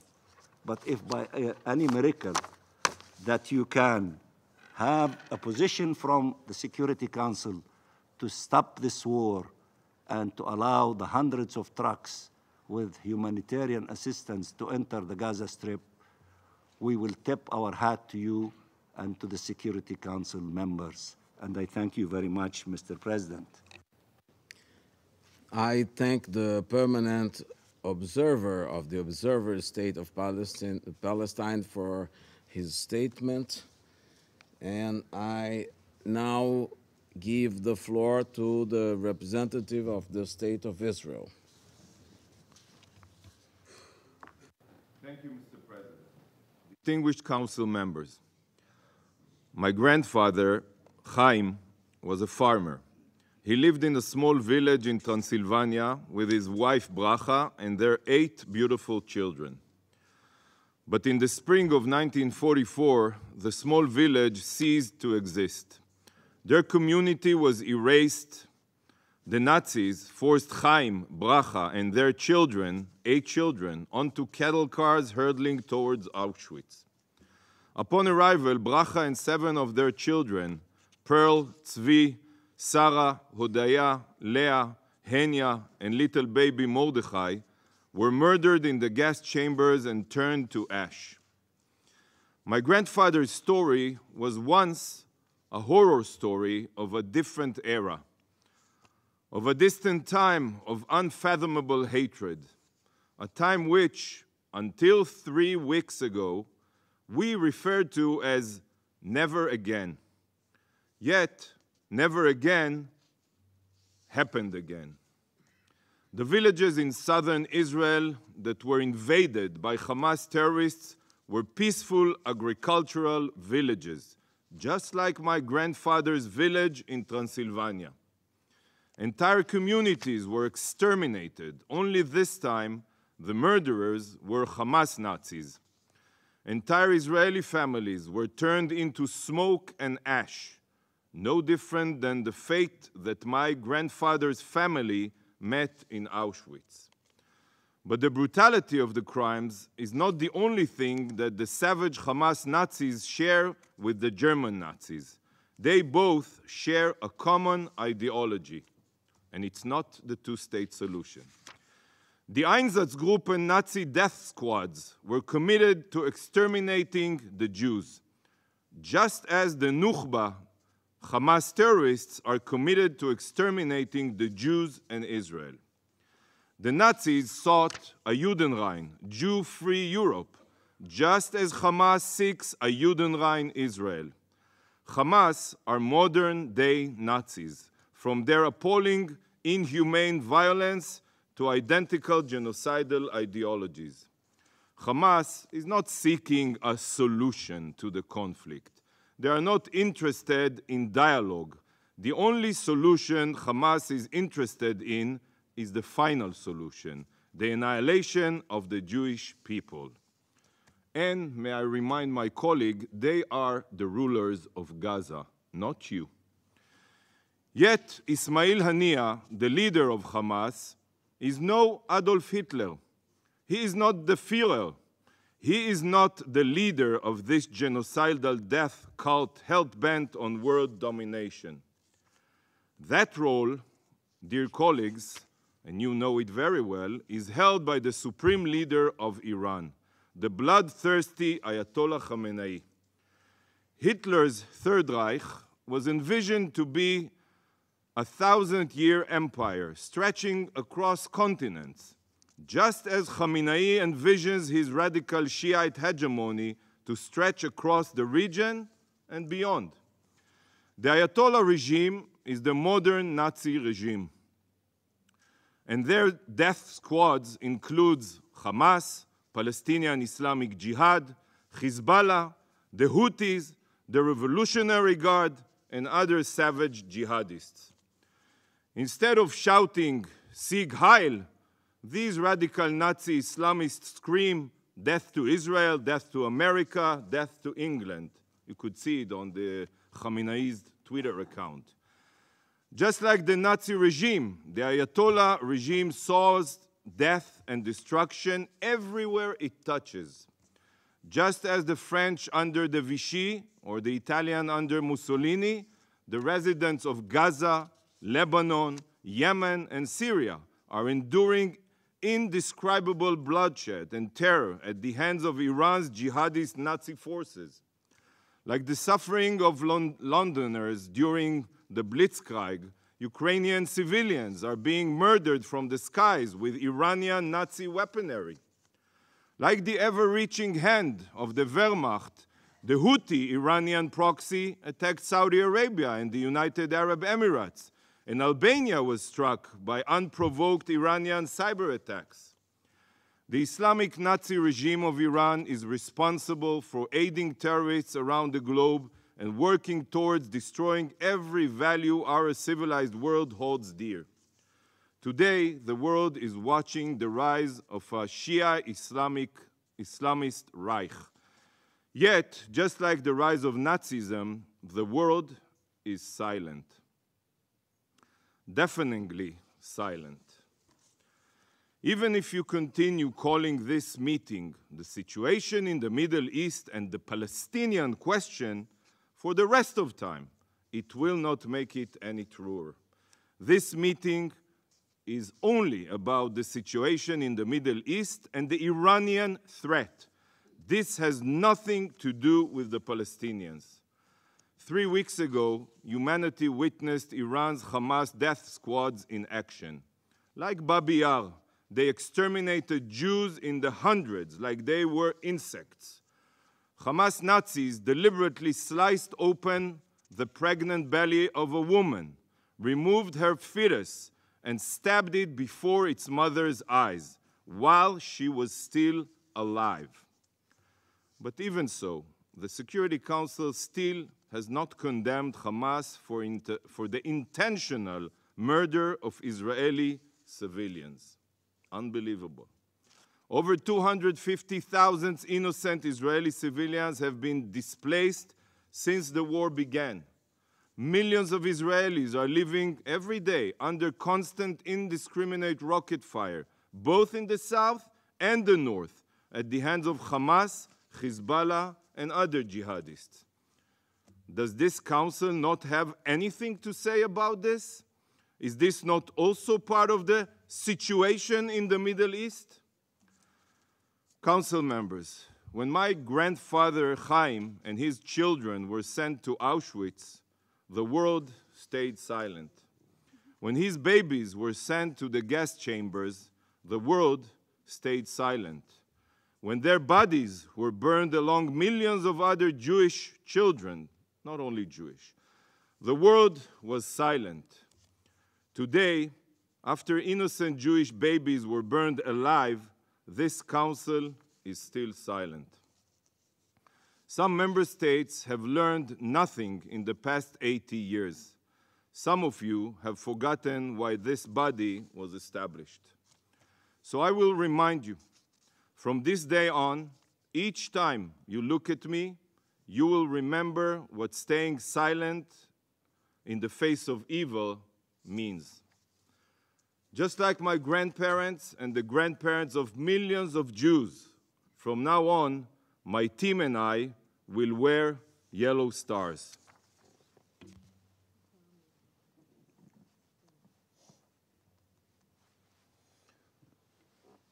We will wear this star until you condemn the atrocities of Hamas and demand the immediate release of our hostages.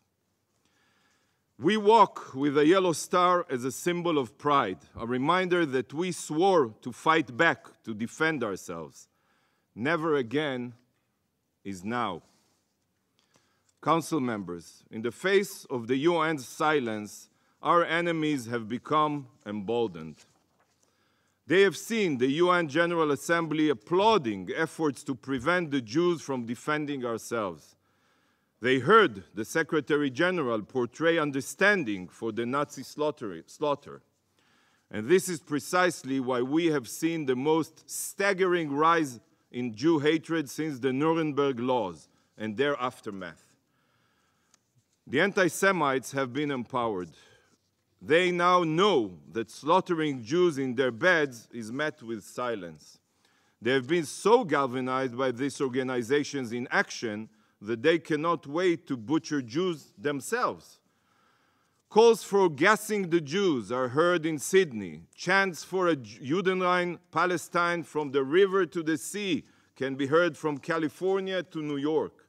Islamist battle cries against Jews are being screamed in London, Brussels, and Paris.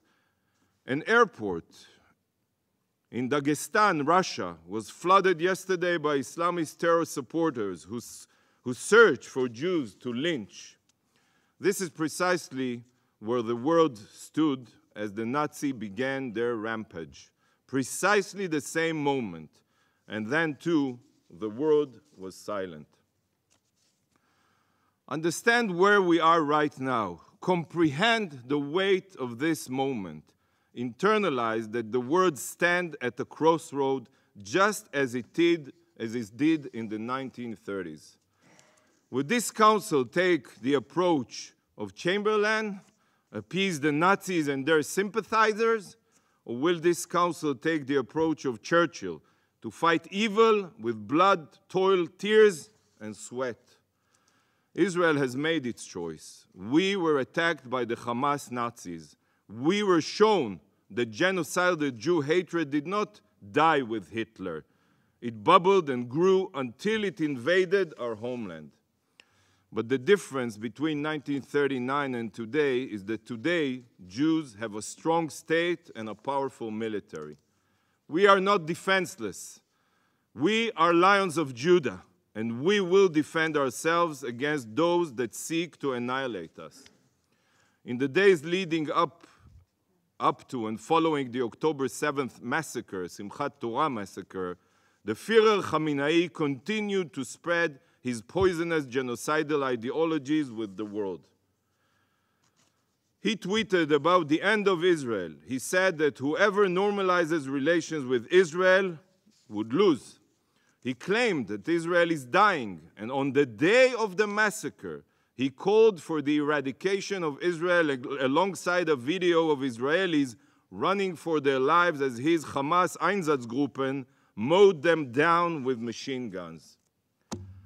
Colleagues, if Hitler had a Twitter account, it would look exactly the same as Khamenei's. Exactly.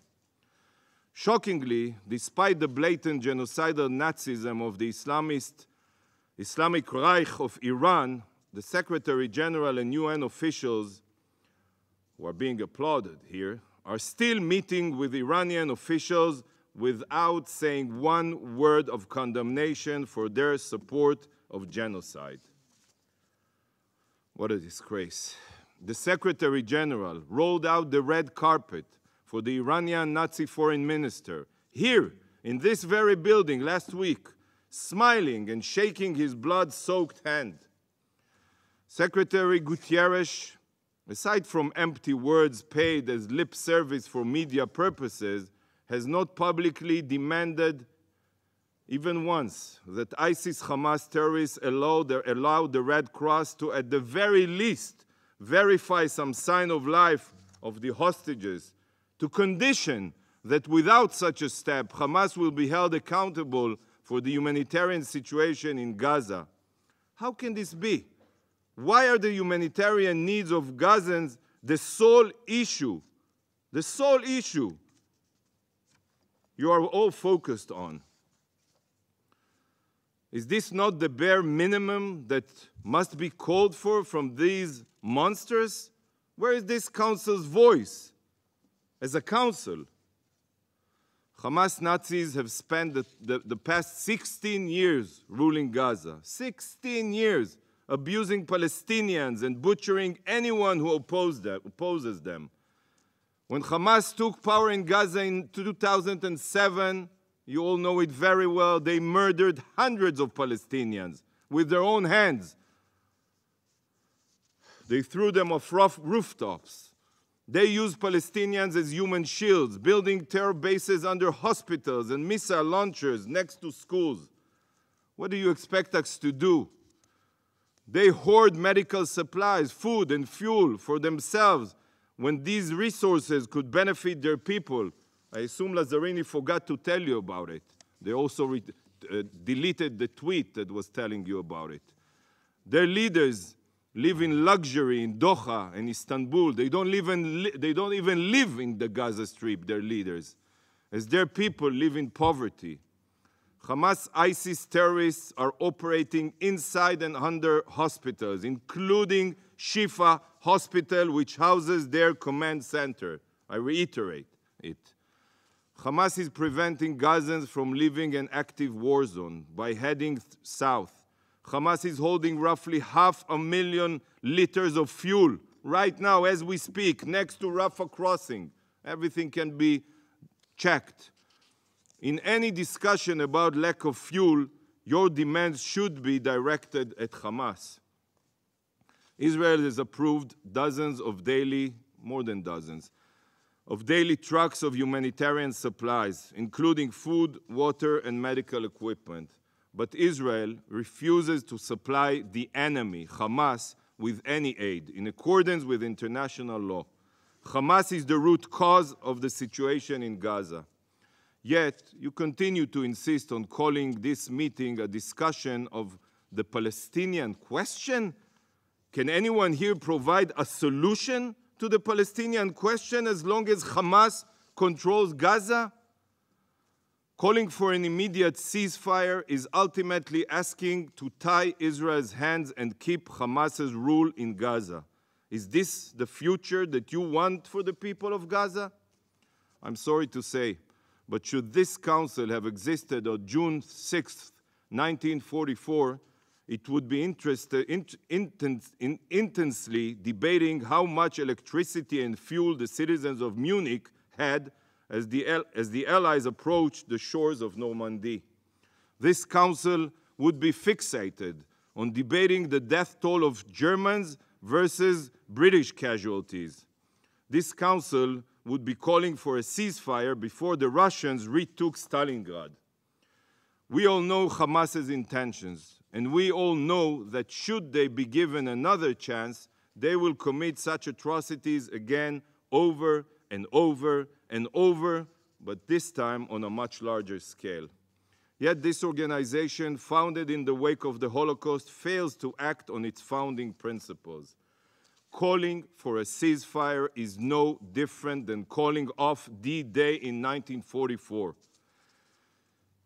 Dear colleagues, Israel will no longer live with brutal Hamas Nazis on her border. We will not have savage ISIS Hamas death squads invading our homeland again. Israel's operation in Gaza is not, I reiterate, is not a response to October 7th. It is an act of self defense to ensure our future. Mr. President, the Israeli people are strong. We are unbreakable, and we are going nowhere. Many, many have tried to destroy us the Babylonians, the Greeks, the Romans, and the Nazis, to name just a few. But none have succeeded, and the Iranian Reich will be no different. Israel will prevail, God willing. We will bring our hostages home, and the citizens of the Jewish state will live in peace and freedom. Thank you, Mr. President. I thank the permanent representative of the State of Israel for his statement. And now I give the floor to the permanent representative of Jordan. Uh, thank you, Excellency. Bismillah ar-Rahman ar-Rahim. In the name of God Almighty, Mr. President, uh, I would like to thank Mr. Philippe Lazzarini, the Commissioner General of UNRWA. I thank Ms. Catherine Russell, the Executive Director of UNICEF, and Ms. Lisa Doughten, Director from OCHA. I am pleased to make this statement on behalf of the Arab Group in New York. We address the Council today in this emergency session after the members of the General Assembly of the United Nations have voted to adopt a resolution as part of the 10th emergency session of the General Assembly on the Israeli illegal actions in East Jerusalem and the occupied Palestinian territory that Jordan co-sponsored as the chair of the Arab Group for October. Mr. President, the Arab Group and the OIC have submitted a request to the PGA to resume the GA 10th emergency special session after it has been very evident that the Security Council, since the start of the war in October, have not been able to shoulder its responsibility towards the maintenance of international peace and security and stop the war against our people in Gaza. Mr. President, the adoption by the GA of this resolution has sent a clear message that the international community has stood with justice and the protection of innocent civilians and adherence to legal, humanitarian, and legitimate uh, obligations and with the immediate stop of the raging Israeli war against Gaza, ending war crimes and the killing of defenseless innocent civilians, and ending the destruction of homes, civil facilities, hospitals, houses of worship, and infrastructure. And if this uh, resolution is biased towards anything or anyone, it is biased towards justice, humanity, and right we were able to address a number of attempts to politicize this resolution. Mr. President, the General Assembly resolution includes a number of elements that need to be provided so that we can find a horizon to ending this war. One, call for an immediate, durable, and sustained humanitarian truce leading to a cessation of hostilities immediately. And the protection of all humanitarian civil facilities, including hospitals and houses of worship. Two, demands that all parties comply with their obligations under international law, including international humanitarian law. Three, provision of humanitarian assistance, including supplies and basic services to all civilians that need them in the Gaza Strip. Four, firmly rejecting any attempt at the forced transfer of uh, the Palestinian civilian population and the call for the immediate and unconditional release of all civilians who are being illegally held captive. Mr. President, the Arab group uh, calls that the international community make effort to bring pressure to bear on Israel decisively to stop stalling vis-a-vis the entrance of assistance so that it would be provided in adequate quantities immediately to address the deteriorating humanitarian situation in Gaza. Here, we would like to say that the number of trucks that accessed uh, the Gaza Strip since the beginning of the war through the Rafah crossing is no more than 85 trucks compared to more than 500 trucks that used to daily enter the Gaza Strip before the war. This is as a result of Israel obstructing these trucks. Here, we stress that the Arab Republic of Egypt has not spared any effort to ensure the expeditious delivery of aid and humanitarian assistance to the brothers and sisters in Gaza, despite the operational and logistical obstacles by Israel in the way of uh, access for political considerations and false security pretexts, and Israel's continued uh, threatening to shell the Rafah crossing. Mr. President, the continuation of the raging Israeli war against Gaza and the ensuing humanitarian disaster threatens a spillover effect into the region.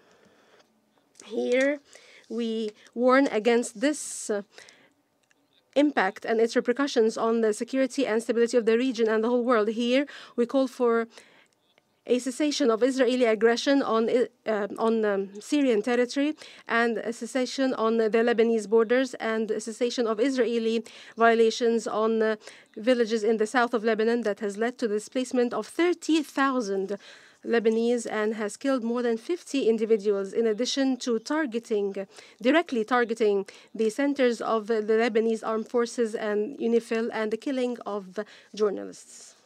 Mr. President, the war on Gaza is in a new phase, bringing more destruction, killing, and oppression against the people of Gaza. Way more than what we have seen in the past few days.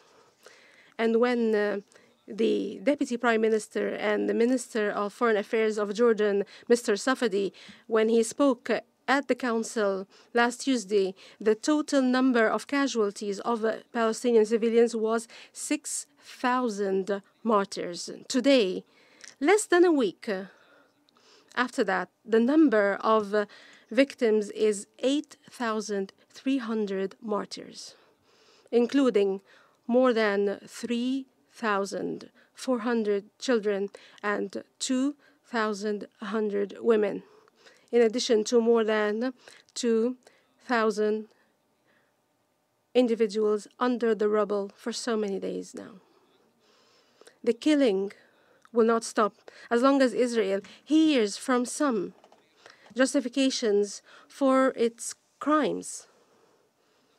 It is given coverage, protection, without any accountability. Unfortunately, as long as this cover up continues, as long as silence on its actions continues, Israel will be emboldened and will continue to commit such acts in total impunity. Mr. President, isn't it time for human conscience uh, to wake up uh, to the scenes that we watch every day, every minute? Every hour, carnage, destruction in Gaza. Isn't it time for this council to heed the cries for help from the people of Gaza? They have no safe place to go to, to shelter from the Israeli bombardment and its destruction. Their homes, their hospitals, and their houses of worship have come down tumbling on their heads while they're inside, and even UN facilities have been also shelled. 1.4 million of the people of Gaza have left their homes and their neighborhoods. This deafening silence needs to stop. Isn't it time for the Council uh, to heed the calls of uh, human conscience? And we thank the Secretary General for his words, despite all the attacks that he unfairly is uh, at the receiving end of when he calls for a ceasefire and the delivery of uh, medical and humanitarian aids and the respect of international law and the protection of civilians and UN aid agencies. I don't know why is he being attacked for these positions, these fair positions of His Excellency the Secretary General. Isn't it time for your council to give prevalence to the principles of justice and, and humanity, and to say to Israel that this transfer is a crime that cannot be overlooked. The choice either you die in the north of Gaza or be transferred to the south of Gaza to be also killed over there. This should be shouldn't be a choice.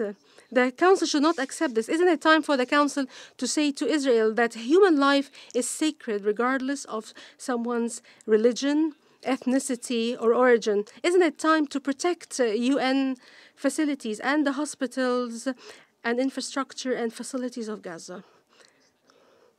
Isn't it time for the Council to heed the calls of humanitarian agencies that uh, Mr. Lazzarini and Ms. Russell and Ms. Doughten have uh, so clearly um, communicated to you to end this humanitarian crisis in Gaza? Isn't it time for the Council to hold Israel legally accountable and uh, to punish Israel for the killing, ethnic cleansing, war crimes committed by Israel in Gaza, reminding that these crimes committed as the international community watches are being documented daily by international accountability mechanisms.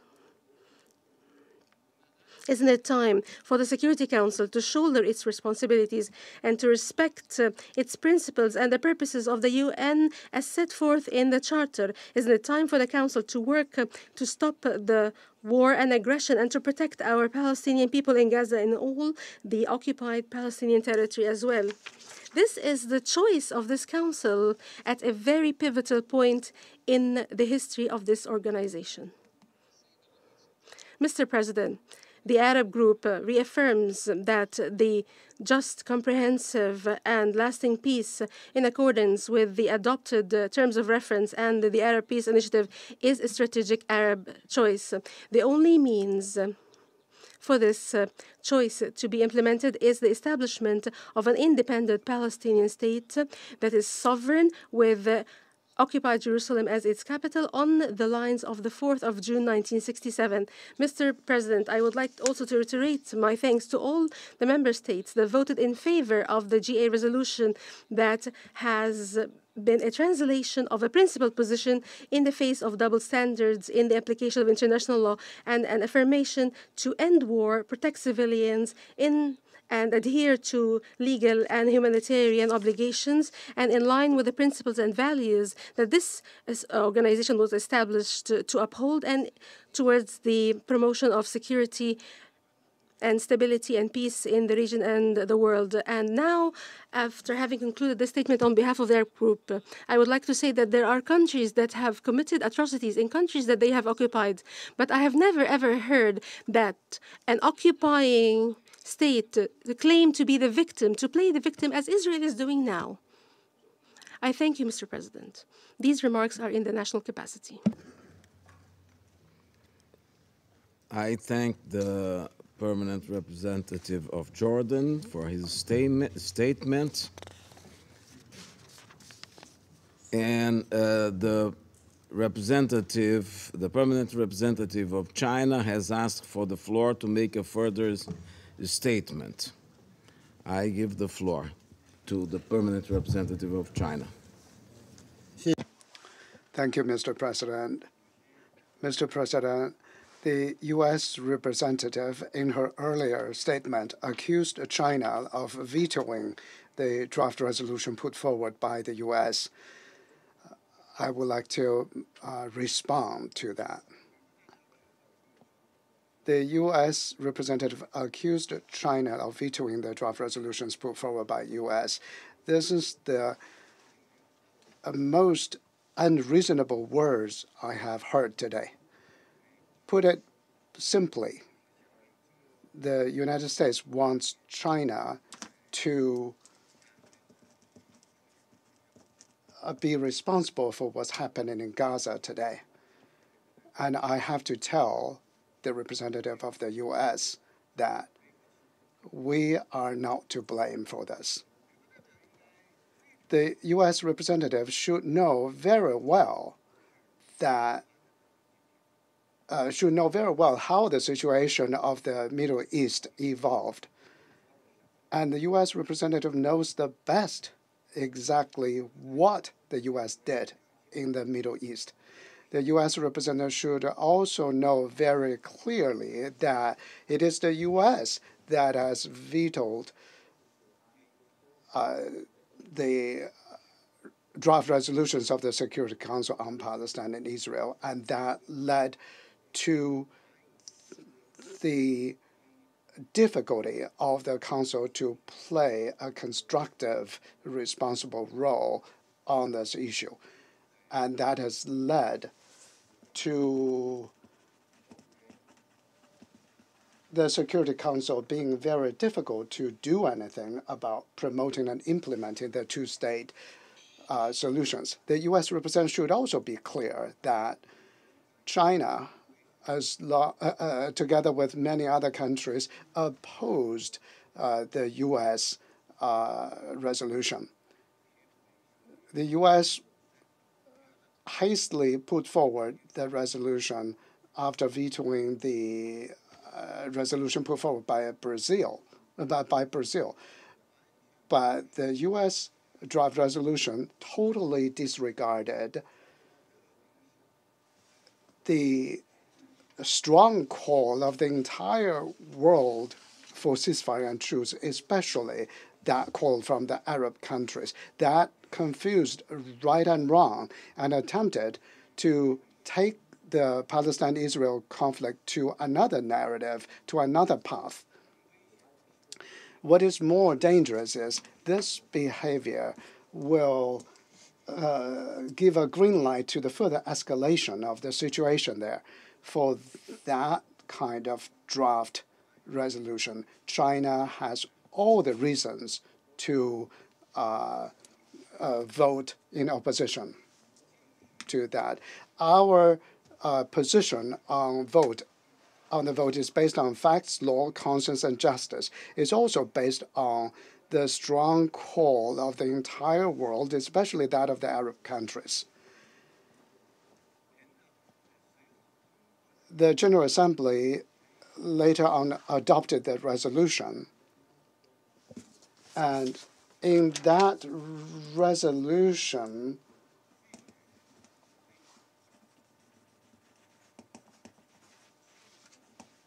send a very clear, unequivocal, uh, unequivocal um, uh, message for the truce and stopping the fighting and prevention of the humanitarian crisis there. And this has got the uh, strong and affirmative support of the overwhelming majority of the UN members. This adoption of the GA resolution is another proof that China's position is entirely correct. I hope that the U.S. will earnestly adopt a responsible attitude and work together with members of the Council, focus on the most pressing issues. Uh, that is the ceasefire issue in Gaza. That that is the uh, protection of civilians issue, that is the uh, uh, humanitarian aid, the delivery of humanitarian aid, as well as the prevention of further humanitarian catastrophe. We hope on these pressing issues will consolidate our consensus so that the Security Council will uh, take a more responsible action at an early date. I thank you, Mr. President. I thank the permanent representative of China for his statement and the permanent the, the representative of the United States has asked for the floor to make a further statement. I give the, the representative of the United States the floor. Thank you, Mr. Thank you, Mr. President. I, I, will be very brief. I just want, I, I think as the record shows, uh, China cast a no vote on Wednesday, October 25, on the resolution put forward by the United States. That is a fact. Thank you, Mr. President. I, I thank the representative of the United States uh, for his statement. There are no more names inscribed on the list of speakers. The meeting is adjourned.